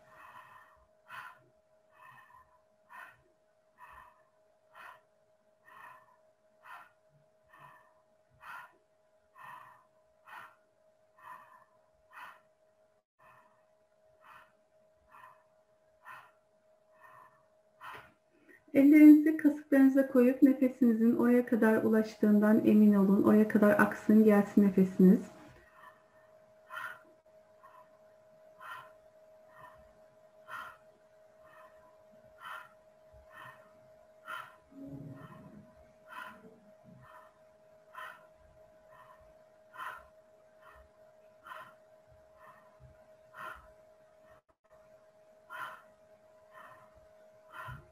Şimdi demo yapmak için bayağı sesli sesli nefes alıyorum. Öyle sesli olması gerekmiyor. En sağlıklı nefes sessizce akan nefestir.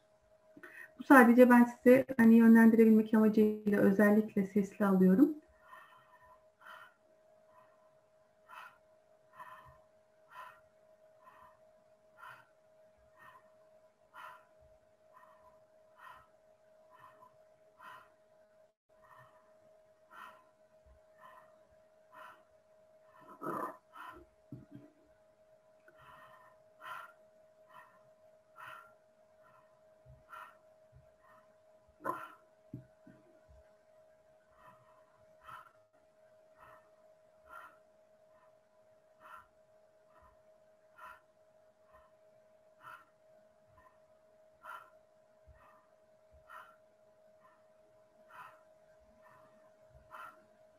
Nefes almak kolay. Nefes almak güvenli. Kolayca ve güvenli nefes alıyorum. Siz lütfen nefeste kalın. Ben bunları söylerken de kopmayın.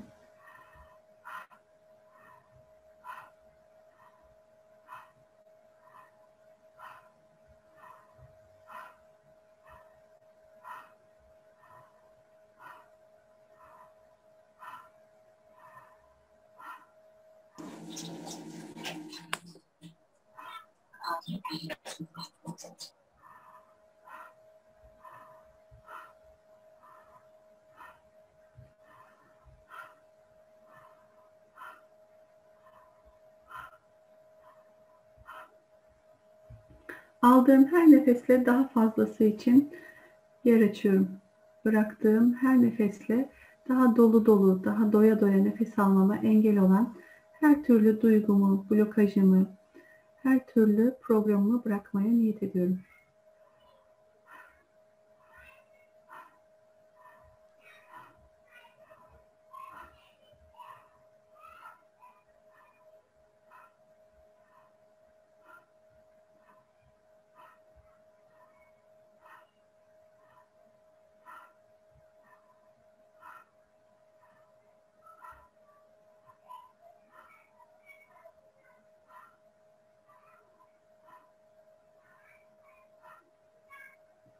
Nefes seçtim, hayatı seçtim. Nefes seçtim, hayatı sevgiyle, keyifle, neşeyle, huzurla, mutlulukla yaşamayı seçtim.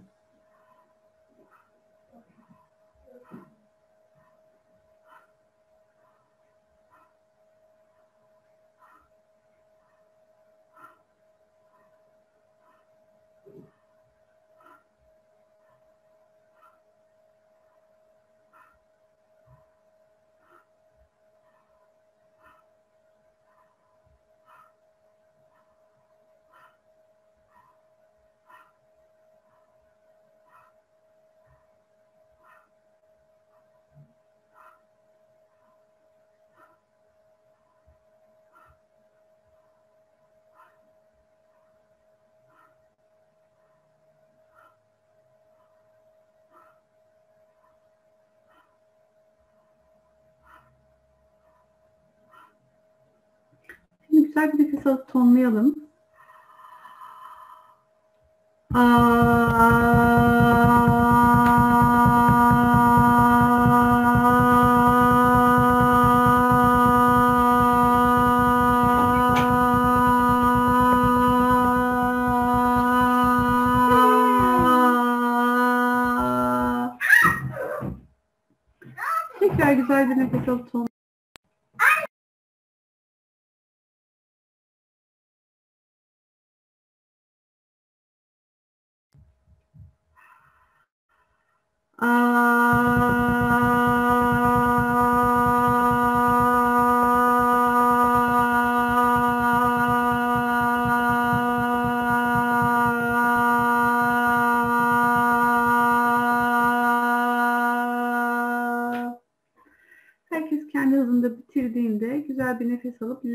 L harfiyle tonlayalım.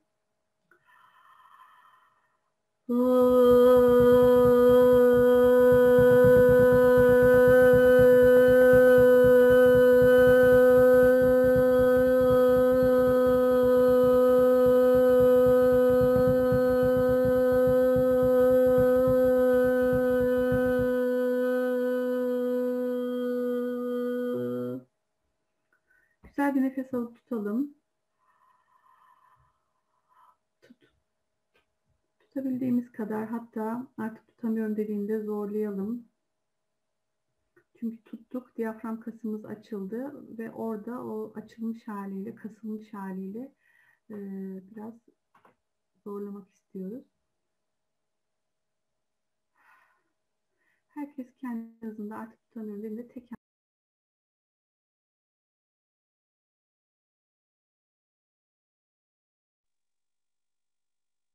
Hocam sesiniz kapalı. Affedersiniz sesiniz kapalı. Ya çok pardon. Ben sesim açık diye konuşuyorum kendi kendime. Ee, peki o zaman güzel bir nefes alıp tutalım.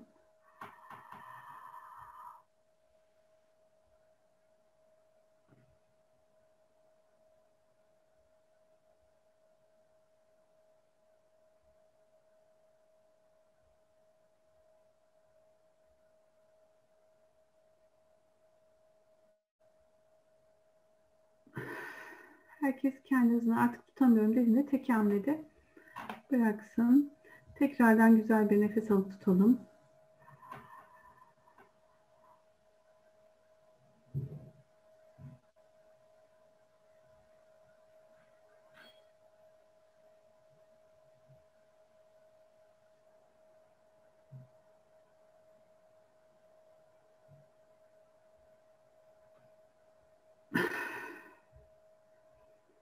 Herkes kendi hızını tamamladığında tekrardan nefese dönebiliriz.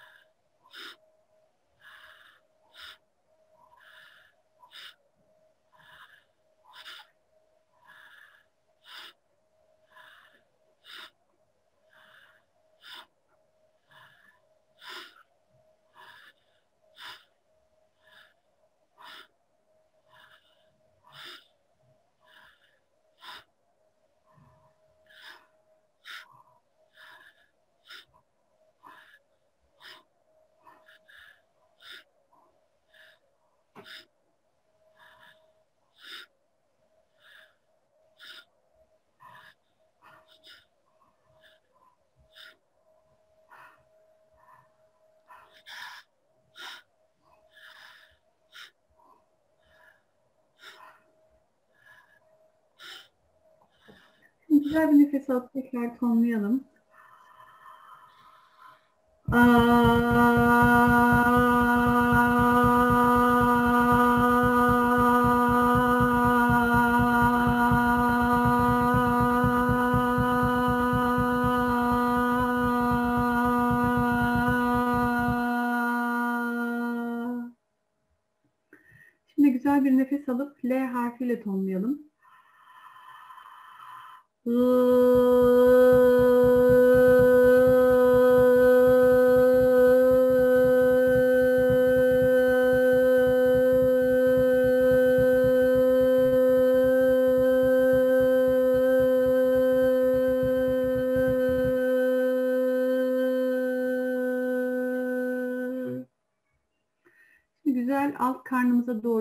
derin bir nefes alıp tutalım.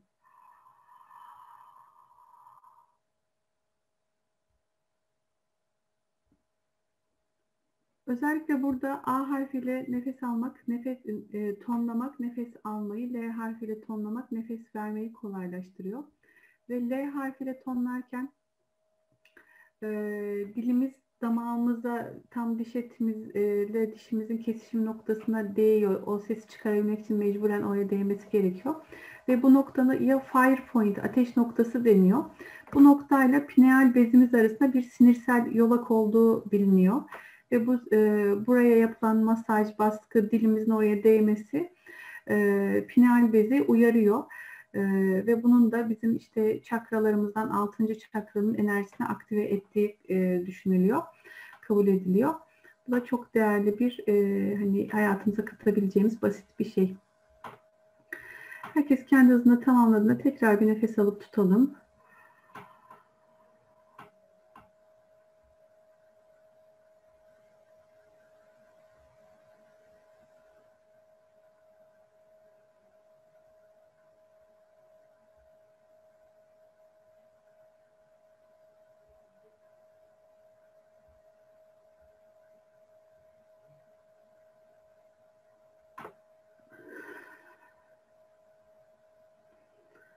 Yavaş yavaş nefesimizi sakinleştirebiliriz. Normal burun nefeslerimize dönebiliriz.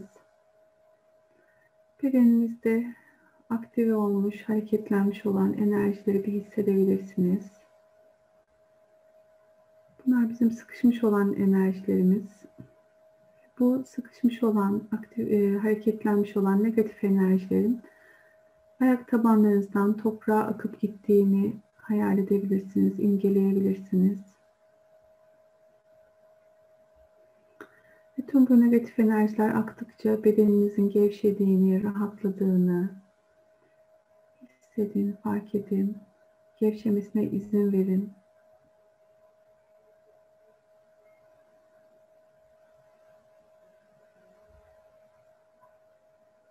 Ve bedeninizdeki tüm negatif enerjiler, hareketli enerjilerin akıp bedeninizi serbest bıraktığını hissettiğinizde Ellerinizi, ayaklarınızı hareketlendirip gözlerinizi açıp ana dönebilirsiniz.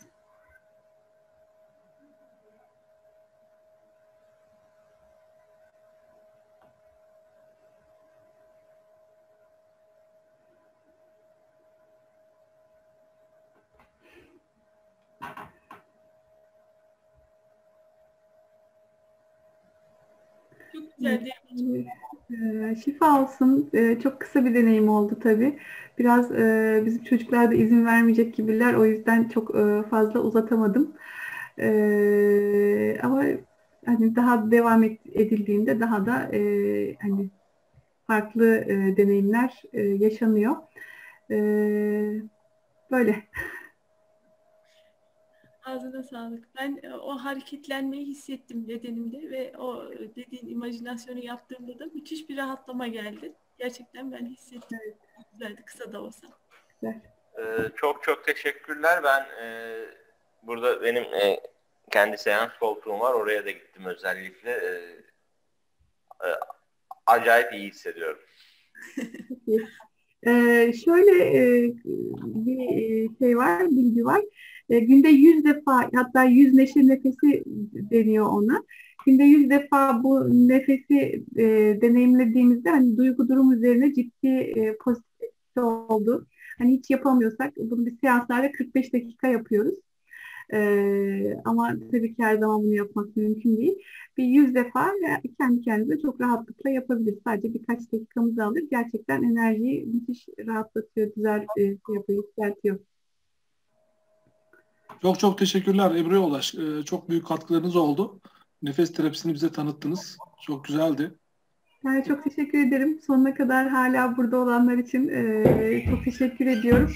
Bizim içeride bayağı bir ben, ben burada olunca e, isyan bayrağını açmış durumdalar. Sizi fazla tutmayalım. Çocuklar yani, çocuklar rahatsız etmesin sizi fazla. Ee, tekrar çok teşekkürler. İstediğiniz zaman ayrılabilirsiniz. Biz biraz daha sohbet etmeye devam ediyoruz. Çok teşekkür ediyorum o zaman. Ee, çok memnun oldum. İnşallah tekrardan e, bulunmayı istiyorum ben de. İnşallah, inşallah. Görüşmek üzere. Her zaman bekliyoruz. Teşekkür ediyorum. Davetinize icabet Çok teşekkürler. Ben de teşekkür ediyorum. Görüşmek üzere. Güzel bilgilerini paylaştığın için çok teşekkür ediyoruz.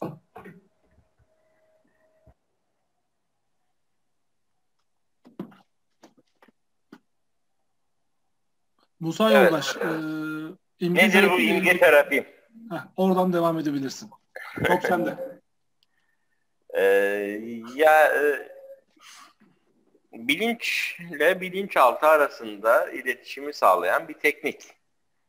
Ee, bütün sorunlar, bir pek çok psikolojik meselenin aslında iki sistem arasındaki iletişimsizlikten e, kaynaklandığını biz seanslar boyunca e, burada imge terapisini e, uygulayan arka, yoldaşlarımız var.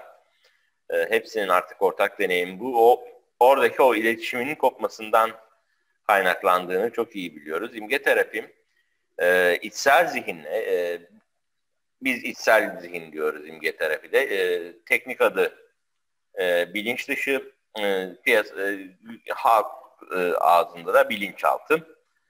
E, he, hepsi de aynı şey aslında. E, o iki sistemin iletişimini sağlayan, o iki sistemin birbirini görmesini sağlayan ve e, birbirini dışlamadan e, bir arada e, insanın zihinsel ve vücutsal bütünlüğünün sağlanarak e, ruh sağlığının da e, daha e, güçlenmesini, e, ruhunun güçlenmesini sağlayan bir e, sistem. Bunu nasıl yapıyor? E, bu imgeler yoluyla, bilinçaltı, e, bilinç dışı ya da içsel zihin e, imgeler yoluyla e, bizimle konuşur. İnsanlığın, Jung'un söylediği gibi insanlığın tek o, o, evrensel dili imgelerdir. Ve işte biz seans odasına bu imgeleri getiriyoruz. Kişinin kendi imgelerini. Ve kişi kendi imgelerini getirdiği için, kendi bilinçaltına getirdiği için tüm çözüm, tüm e, analiz de kişinin kendisi tarafından yapılıyor. Ama burada e, ki kavrayış, matematik problemini kavrayış gibi bir kavrayış değil. 3 ile 5'i toplamayı kavrayabilirsiniz. Bu bilincin e, bir kavrayış e, şekli. Oysa biz sadece e, ruhun kavrayış sistemini kullanıyoruz ve bu sezgisel bir kavrayış e, sistemi. E, bizim seanstan sonra pek çok danışanımız bize der ki bir şeyleri anladım ama anlatamaz ne anladığını. İşte bu aslında o seansta yaşadığı imgeler, gördüğü imgelerdir e, onun e, bilinç altından bilincine çıkan ama bilincin de tam yorumlayamadığı şey. E, imgeleri kullanarak biz kişilerin her iki sisteminin yani bilinç ve bilinç dışı sisteminin e, birbiriyle temas etmesini sağlıyoruz. diye bir özet yapayım arkadaşların mutlaka, yoldaşların mutlaka ekleyecekleri vardır. Selime Yoldaş ne dersiniz? Selime Yoldaş katkımız var mı? Yani im, ben imge terapi e, uygularken e, imge terapi hakkında birçok şey öğrendim. Hani anlatılanlar okey e, birçok şey var ama onu e, deneyimletirken ve deneyimlerken de çok şey öğreniyorsunuz. Gerçekten sağ beyin ve sol beyin arasında müthiş bir bağlantı kuruyor. E, kendinden kapalı bir şey kalmıyor. Kişide ne varsa onu görüyor yani. E, bütün duyguları kendi için açık hale geliyor. Bu kadar duyguya ulaşabilen nadir sistemlerden olduğunu düşünüyorum imge terapinin. Çünkü orada her şeyin bir duygusu var. Yani eğer danışan en küçük bir imge görüyorsa o anlamsız, manasız, boş bir imge değil. Onun mutlaka bir anlamı var. Gizemlerle dolu imge terapi müthiş bir hazine bizim için. Dilek Yoldaş, Erdoğan Yoldaş, Durali Yoldaş. Evet, imge terapi. Ee, Selime ile bizim e, merakla ve hevesle beklediğimiz e, ve katıldığımız, iyi ki de katıldık dediğimiz e, ve e, bizim de kendi anlam adımıza hayatımızda e, ciddi olumlu değişikliklere sebep olan bir terapi yöntemi. E, ne yapıyor bu imge terapi? E, Jung'un dediği gibi bilinçaltı sembollerle hareket ediyor. Her e, bir duygu sembolle bilinçaltına kaydediliyor. E, ve kişi bu sembolleri hiçbir şekilde e, bilinçli zihniyle e, mantıksal bir çerçevede e, kavrayamıyor. Ve hayatında yaşadığı olaylara, baktığı e, e, durumlara, yani kattığı anlamlara e, bir şekilde çözümleyemediği bir e, ruhsal sıkışma yaşıyor. E, peki imge terapide ne oluyor? E, bu aynı nefes terapisindeki e, bahsedildiği gibi Önce bir zihinsel ve bedensel bir gevşeme oluyor. Yani muhteşem bir gevşeme. O odadaki gevşeme e, harika bir gevşeme. Çünkü e, adada e, doğadaki tüm e, metaforlar mevcut. E, peki insan nasıl bir özellikte? İnsanda e, doğanın küçültülmüş bir örneği. Yani hepsi insanda saklı durumda. E, bu adayla bütünleşerek aslında kişi doğayla bütünleşiyor ve özdeşleşiyor ve ruhsal ve zihinsel bir özgürleşme aşamasına geçiyor. Bu özgürleşme aşamasından sonra zaten e, o zihinsel durulmanın verdiği içsel zihnini açığa çıkarıyor ve içsel zihnin e, rahatlıkla e, mevcut durumun hem sebeplerini hem de çözümlerini ortaya çıkarıyor. E, ve ilerleyen seanslarda ilk başlarda tabii yaparken kavrayamadığım muhteşem bir iyileşmeyle karşılaşıyorsunuz ve bunu kavrayamıyorsunuz. Nasıl oluyor acaba falan diyorsunuz. Ve sonra ilerleyen seanslarda anlaşıyor, anlaşılıyor ki kişi e, kendi iç dünyasına dönüyor. E, bir farkındalık oluşturuyor e, ve çözüm yolları arıyor. Çözümün de kendisinde olduğunun farkına varıyor. Ee, özetle çok uzatmayayım. İmge terapi muhteşem bir terapi. Ee, bizi dinleyen arkadaşlara teşekkür ederiz. Aramıza bekliyoruz. Dilek abla benim yengem, abimin eşi. Ee, kendisi bilmeyenler için ufak bir çalışma yapalım dedik kendisiyle ve e, kendisini arı olan bir kuş gö e, kuş hmm, kelebek, kelebek arı ee, yani hem kelebek hem de arı olarak görmüştü. Çok güzel bir imge, imgelemdi. Gerçekten çok özel, çok güzel bir imgelemdi. Ee, hem arı gibi çalışkan olmak hem de kelebek gibi özgür olmayı hmm. aynı anda bilinç dışı zihin. Yani bunu 40 yıl düşünse benim aklıma gelmez mesela. Yani insanın aklına nasıl gelebilir ki? Ancak o yaratıcı e, bir kanaldan gelebilir bir şey ve bunu görmüştün. Evet, o, o, o görüntü zaten adada ortaya çıkıyor muhteşem görüntüler. Adanın özelliği zaten. Değil mi Erdoğan yoldaş? Sen ne söyleyeceksin? Hadi bakalım evet. sıra sende. çalışmalarını hayranım gerçekten. Müthiş. Çok teşekkür ederim arkadaşlar. Öncelikle e, hepinize teşekkür ediyorum. Gayet güzeldi e, organizasyon ekibine. Tabii imge terapi şu e, baktığımız zaman aslında e, tabii hipnoz yolcunca birçok şeyi gördük, e, öğrendik. Şimdi evrende hiçbir bilgi yok olmuyor. Yani bunu hepimiz de az çok biliyoruz. İşin enteresan ve e, ilginç tarafı şu. Anne karnına düştüğümüz andan itibaren e, anne rahminde her ne varsa kayıt altına alınmaya başlıyor. Biz bu olayları zaman içerisinde belki de e, ileride tetikleyici olaylarla beraber e, değişik, e, belki psikolojik, belki somatik belirtilerle e, biz bunu vücudumuza yansımalarını görüyoruz e, ne zaman bardağa taşıran son damla varsa biz aslında sorumlu olarak onu tutuyoruz. Ama maalesef ister zihnimizde, bilinçaltımızda tüm olaylar kayıtlı. E, kayıtlı olduğu için de e, ne zaman e, bunu tetikleyen olay varsa ortaya çıkıyor e, ve biz bunu bu şekilde yaşıyoruz. Tabii İngiltere'de ilginç olan şu.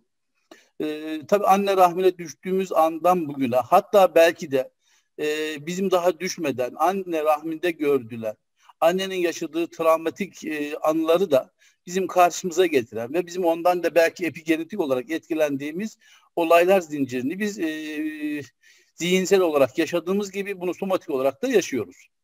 Burada e, imge tarafı e, bir emaret gibi e, tüm e, olayları bizim karşımıza kare kare getiriyor ve biz de bunu e, imge terapide görüyoruz ve içsel zihnimiz hazır olduğunda bunları yine kendi kendine tedavi ettiği bir yöntem. Yani bunu da nasıl yapıyor? Sembollerle açıkçası imge terapide gördüğümüz olay ne?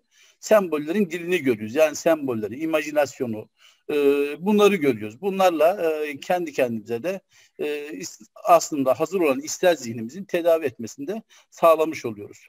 Yani burada e, aslında ne var? E, ben e, açıkçası söyleyeyim. Günde en aşağı 5-6 hipnozla çalışan birisiyim. Şimdi tamamen imge terapiye döndüm. Ara ara da artık nostaljik olarak e, klasik hipnoza gidiyorum. E, tabii imge terapinin içerisinde e, ne var? İçerisinde pas terapiyi koyabiliyorsunuz. Hipnoz bilen arkadaşlar için HYT'yi koyabiliyorsunuz. EMDR'yi koyabiliyorsunuz. E, inner child'ı koyabiliyorsunuz.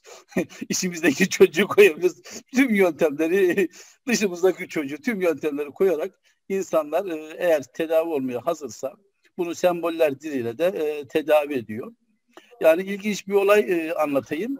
Bu hafta yaşadığım bir olay. E, pazartesi günü akşam 19 yaşında bir e, genç aldım. Ders çalış problemi misin? E, problemi ders çalışamama e, kaygıları var. E, tabii e, bizim meşhur bir imgemiz var mağara. Mağaraya gittik. Mağarada e, beş tane delik gördü. E, danışandan aldığımız e, annemlerde iki kardeşler.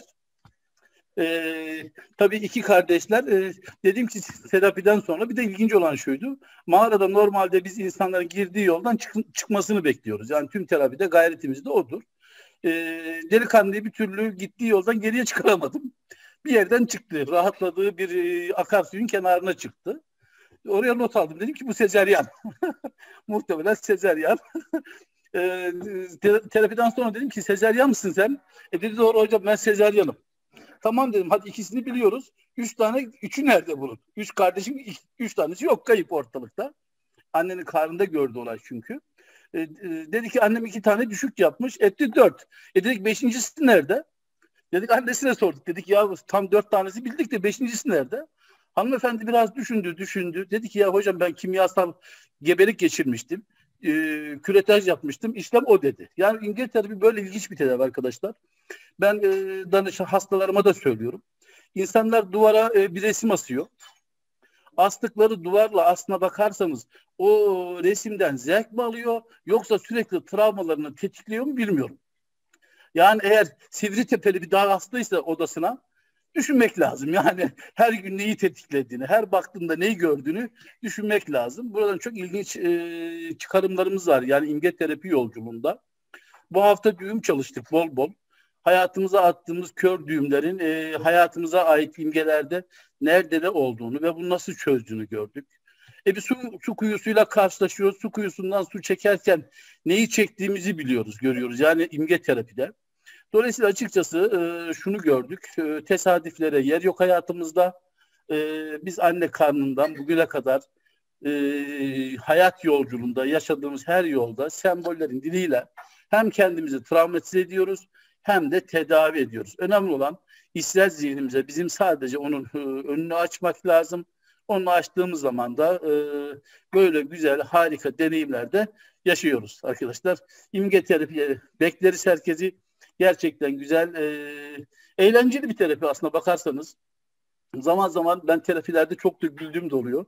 Çünkü bakıyorsunuz hasta öyle bir cümle kullanıyor ki ya diyorsunuz acaba e, bu nedir ya? Bu kadar da insanı kendi kendine yıllarca niye beklemiş bu cümleyi söylemek için diye düşünüyorsunuz. E, onun için güzel bir terapi.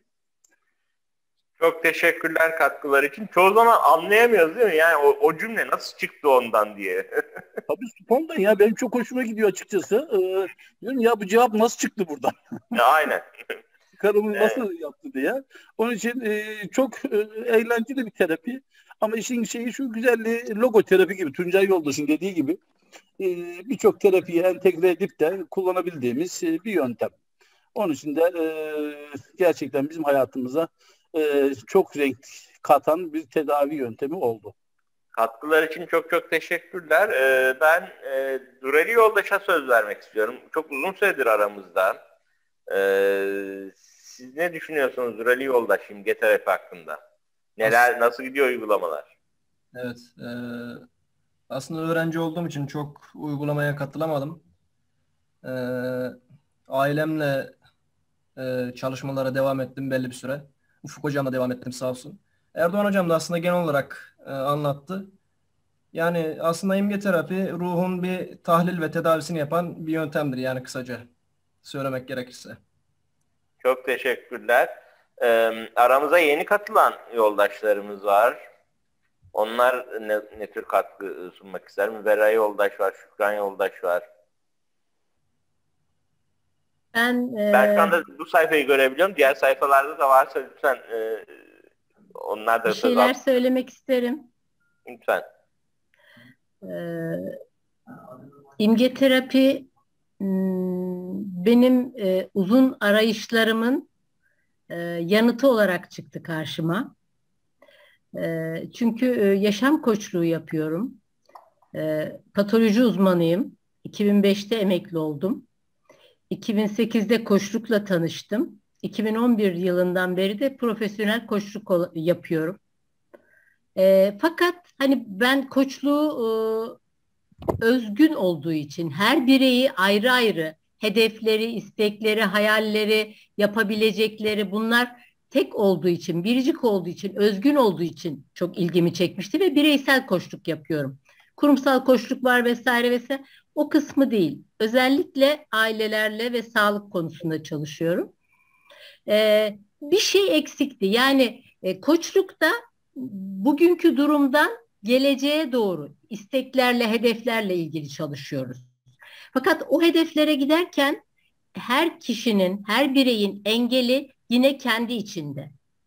Bunu biz sorularla, e, kazı çalışmalarıyla vesaireyle hani çok derinlere inmiyoruz zaten koçluğun böyle bir şeyi yok.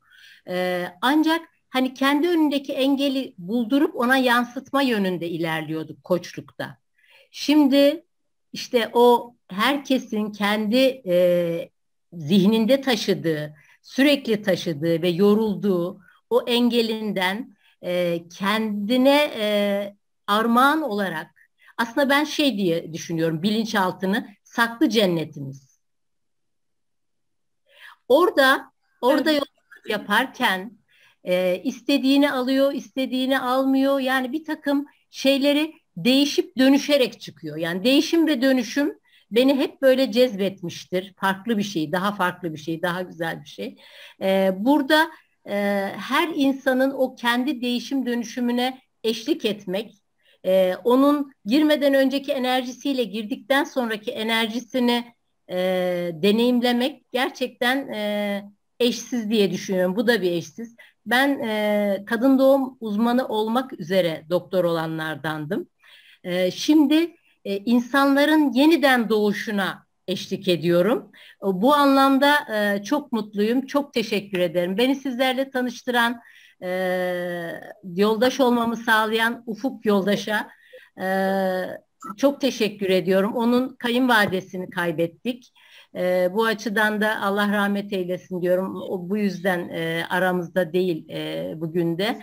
E, tekrar teşekkür ederim. Hepinize ayrı ayrı teşekkür ediyorum. Çünkü bu bir e, aslında e, imge terapinin aynı zamanda bir grup terapisi şeklinde olduğunu, onun için burada olmanın çok değerli olduğunu, çünkü her birimizden bir şey alıp veriyoruz ve zenginleşiyoruz diye düşünüyorum. Çok teşekkür ederim.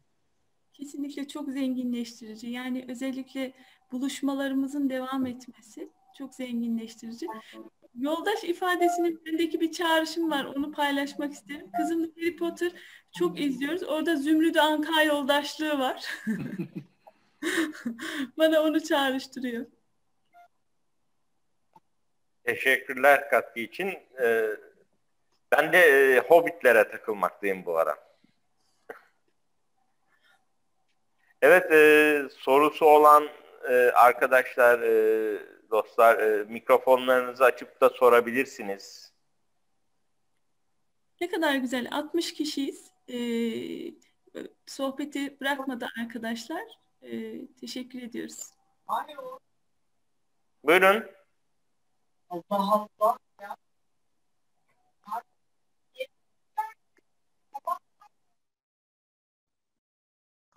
Mikrofonları kapattım tekrar Musa Yolaş. Açabilirsiniz. Ee, konuşmak isteyen açabilir. Sanırım yanlışlıkla açılmıştı.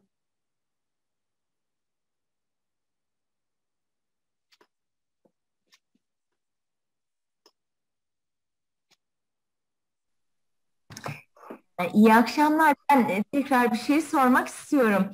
E, şimdi imge terapiye tabii çok merakla katılıyorum, izliyorum. Nedir ne değildir anlamaya çalışıyorum.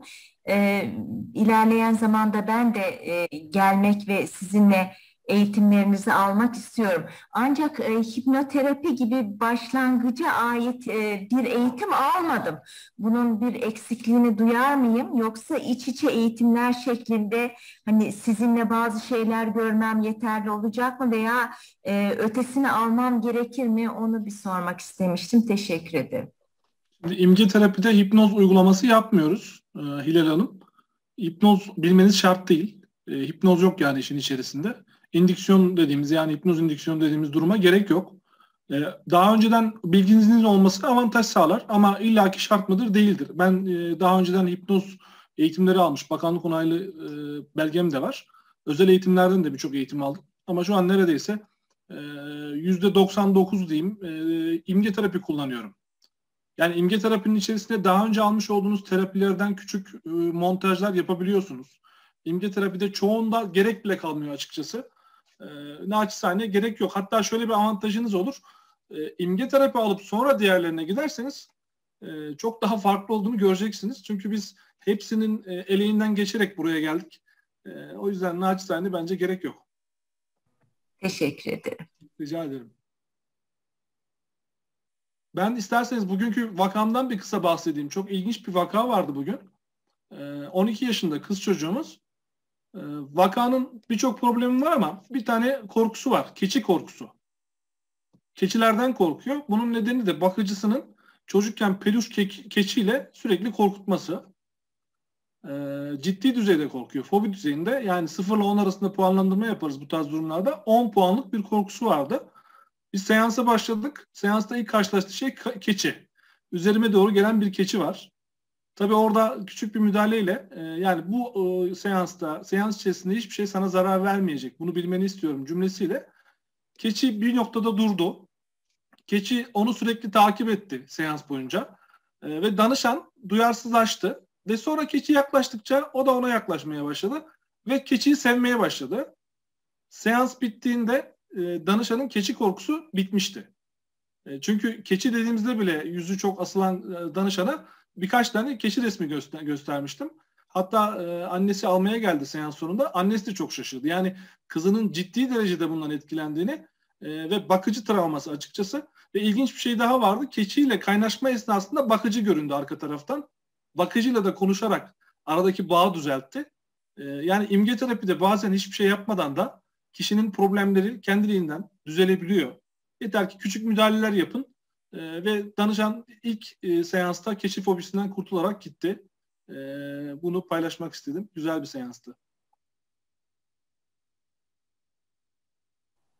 Emeğinize sağlık. Ee, ben de küçük bir e, katkıda bulunacağım Hilal Hanım'ın sorusuna. E, hipnoz e, aslında yanlış da biliyoruz biz çoğu zaman. E, hipnoz diye bildiğimiz şey bizim indüksiyon kısmı işin. E, yani e, o, o hipnotik duruma geçirme hali. E, sonrası zaten hipnoterapi. E, imge e, terapide de e, bu tarzda bir indüksiyon yok. Ya hipnoza giriş e, dediğimiz kısım yok. Sadece belli bir rahatlama ve gevşeme egzersizi e, sonunda e, imgeler zaten e, akış halinde geliyor. Bu anlamda bilmeye gerek yok. Bu pek çok indüksiyon vardır hipnozda. Hızlı, yavaş, e, sayamayacağınız kadar çok. Ama bunların hiçbirini kullanmanıza gerek yok e, imge terapi için. Teşekkür ederim. Rica ederiz.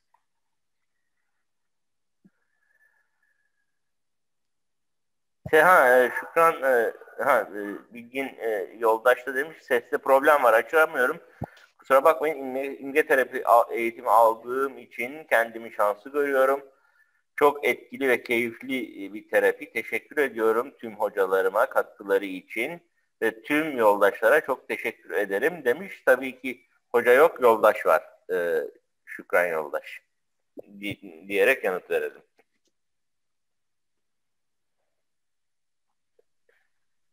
Ben de şunu eklemek isterim Musa Yoldaş. En son grup tanımlandı. Evet, evet lütfen Emine Hanım. Emine Yoldaş. Ee, Selim Hocam, e, Selim Yoldaş sayesinde aramıza katılmıştım.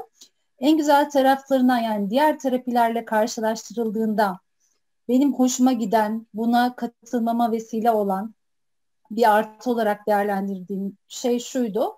hiçbir şekilde e, danışana terapist tarafından bir aktarım yapılması söz konusu değil ve bu terapi sırasında danışanın bilinç dışında imgelerle ortaya koy, konulan şey zaten konuşmaya hazır olan şey ortaya çıkıyor. O yüzden de siz nasıl biz kendi aramızda birbirimize yoldaş diyorsak e, danışanlara da aslında yolculukta yoldaşlık ediyoruz. Yani onlar bu terapi sırasında hazır olan şey ortaya çıkıyor. Kendi ağızlarından dökülüyor. Biz bir kere daha tekrar ediyoruz ve son konuşmayla netleştiriyoruz. Orada o kadar bir e, e, yolculukta hassasiyet var ki böyle sanki arkadaşınıza böyle uzun süre görmediğinizde sarılıp arkasına bir tık tık yaparsınız ya onun gibi böyle kendiliğinden tabii durumun ıı, şeyine göre bazen hani bu birkaç seans sonra bazen altı seans sonra olabilir ama yani bu rayda gitmesi ben hem kendi adıma hem de e, ufak ufak başladığım e, danışanlarım adına art olarak gördüğüm bir durum. O yüzden de hem e, seans almak isteyenler çok kolaylıkla tavsiye ediyorum, kesinlikle tavsiye ediyorum.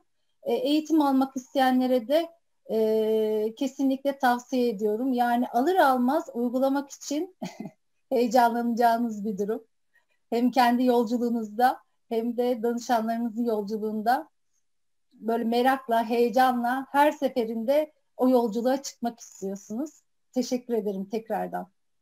Çok teşekkürler katkılarınız için. Emine Yoldaş'ın söylediği o şey e, Sinan Hoca nasıl ifade ediyordu? Danışanlarınızın gölüne oltamını sallamayın bir ifade vardı. Nasıldı? Akvaryumunda balık. Akvaryumunda kendi balığınızı akvaryumuna atmayın. Danışanların akvaryumuna atmayın. Evet.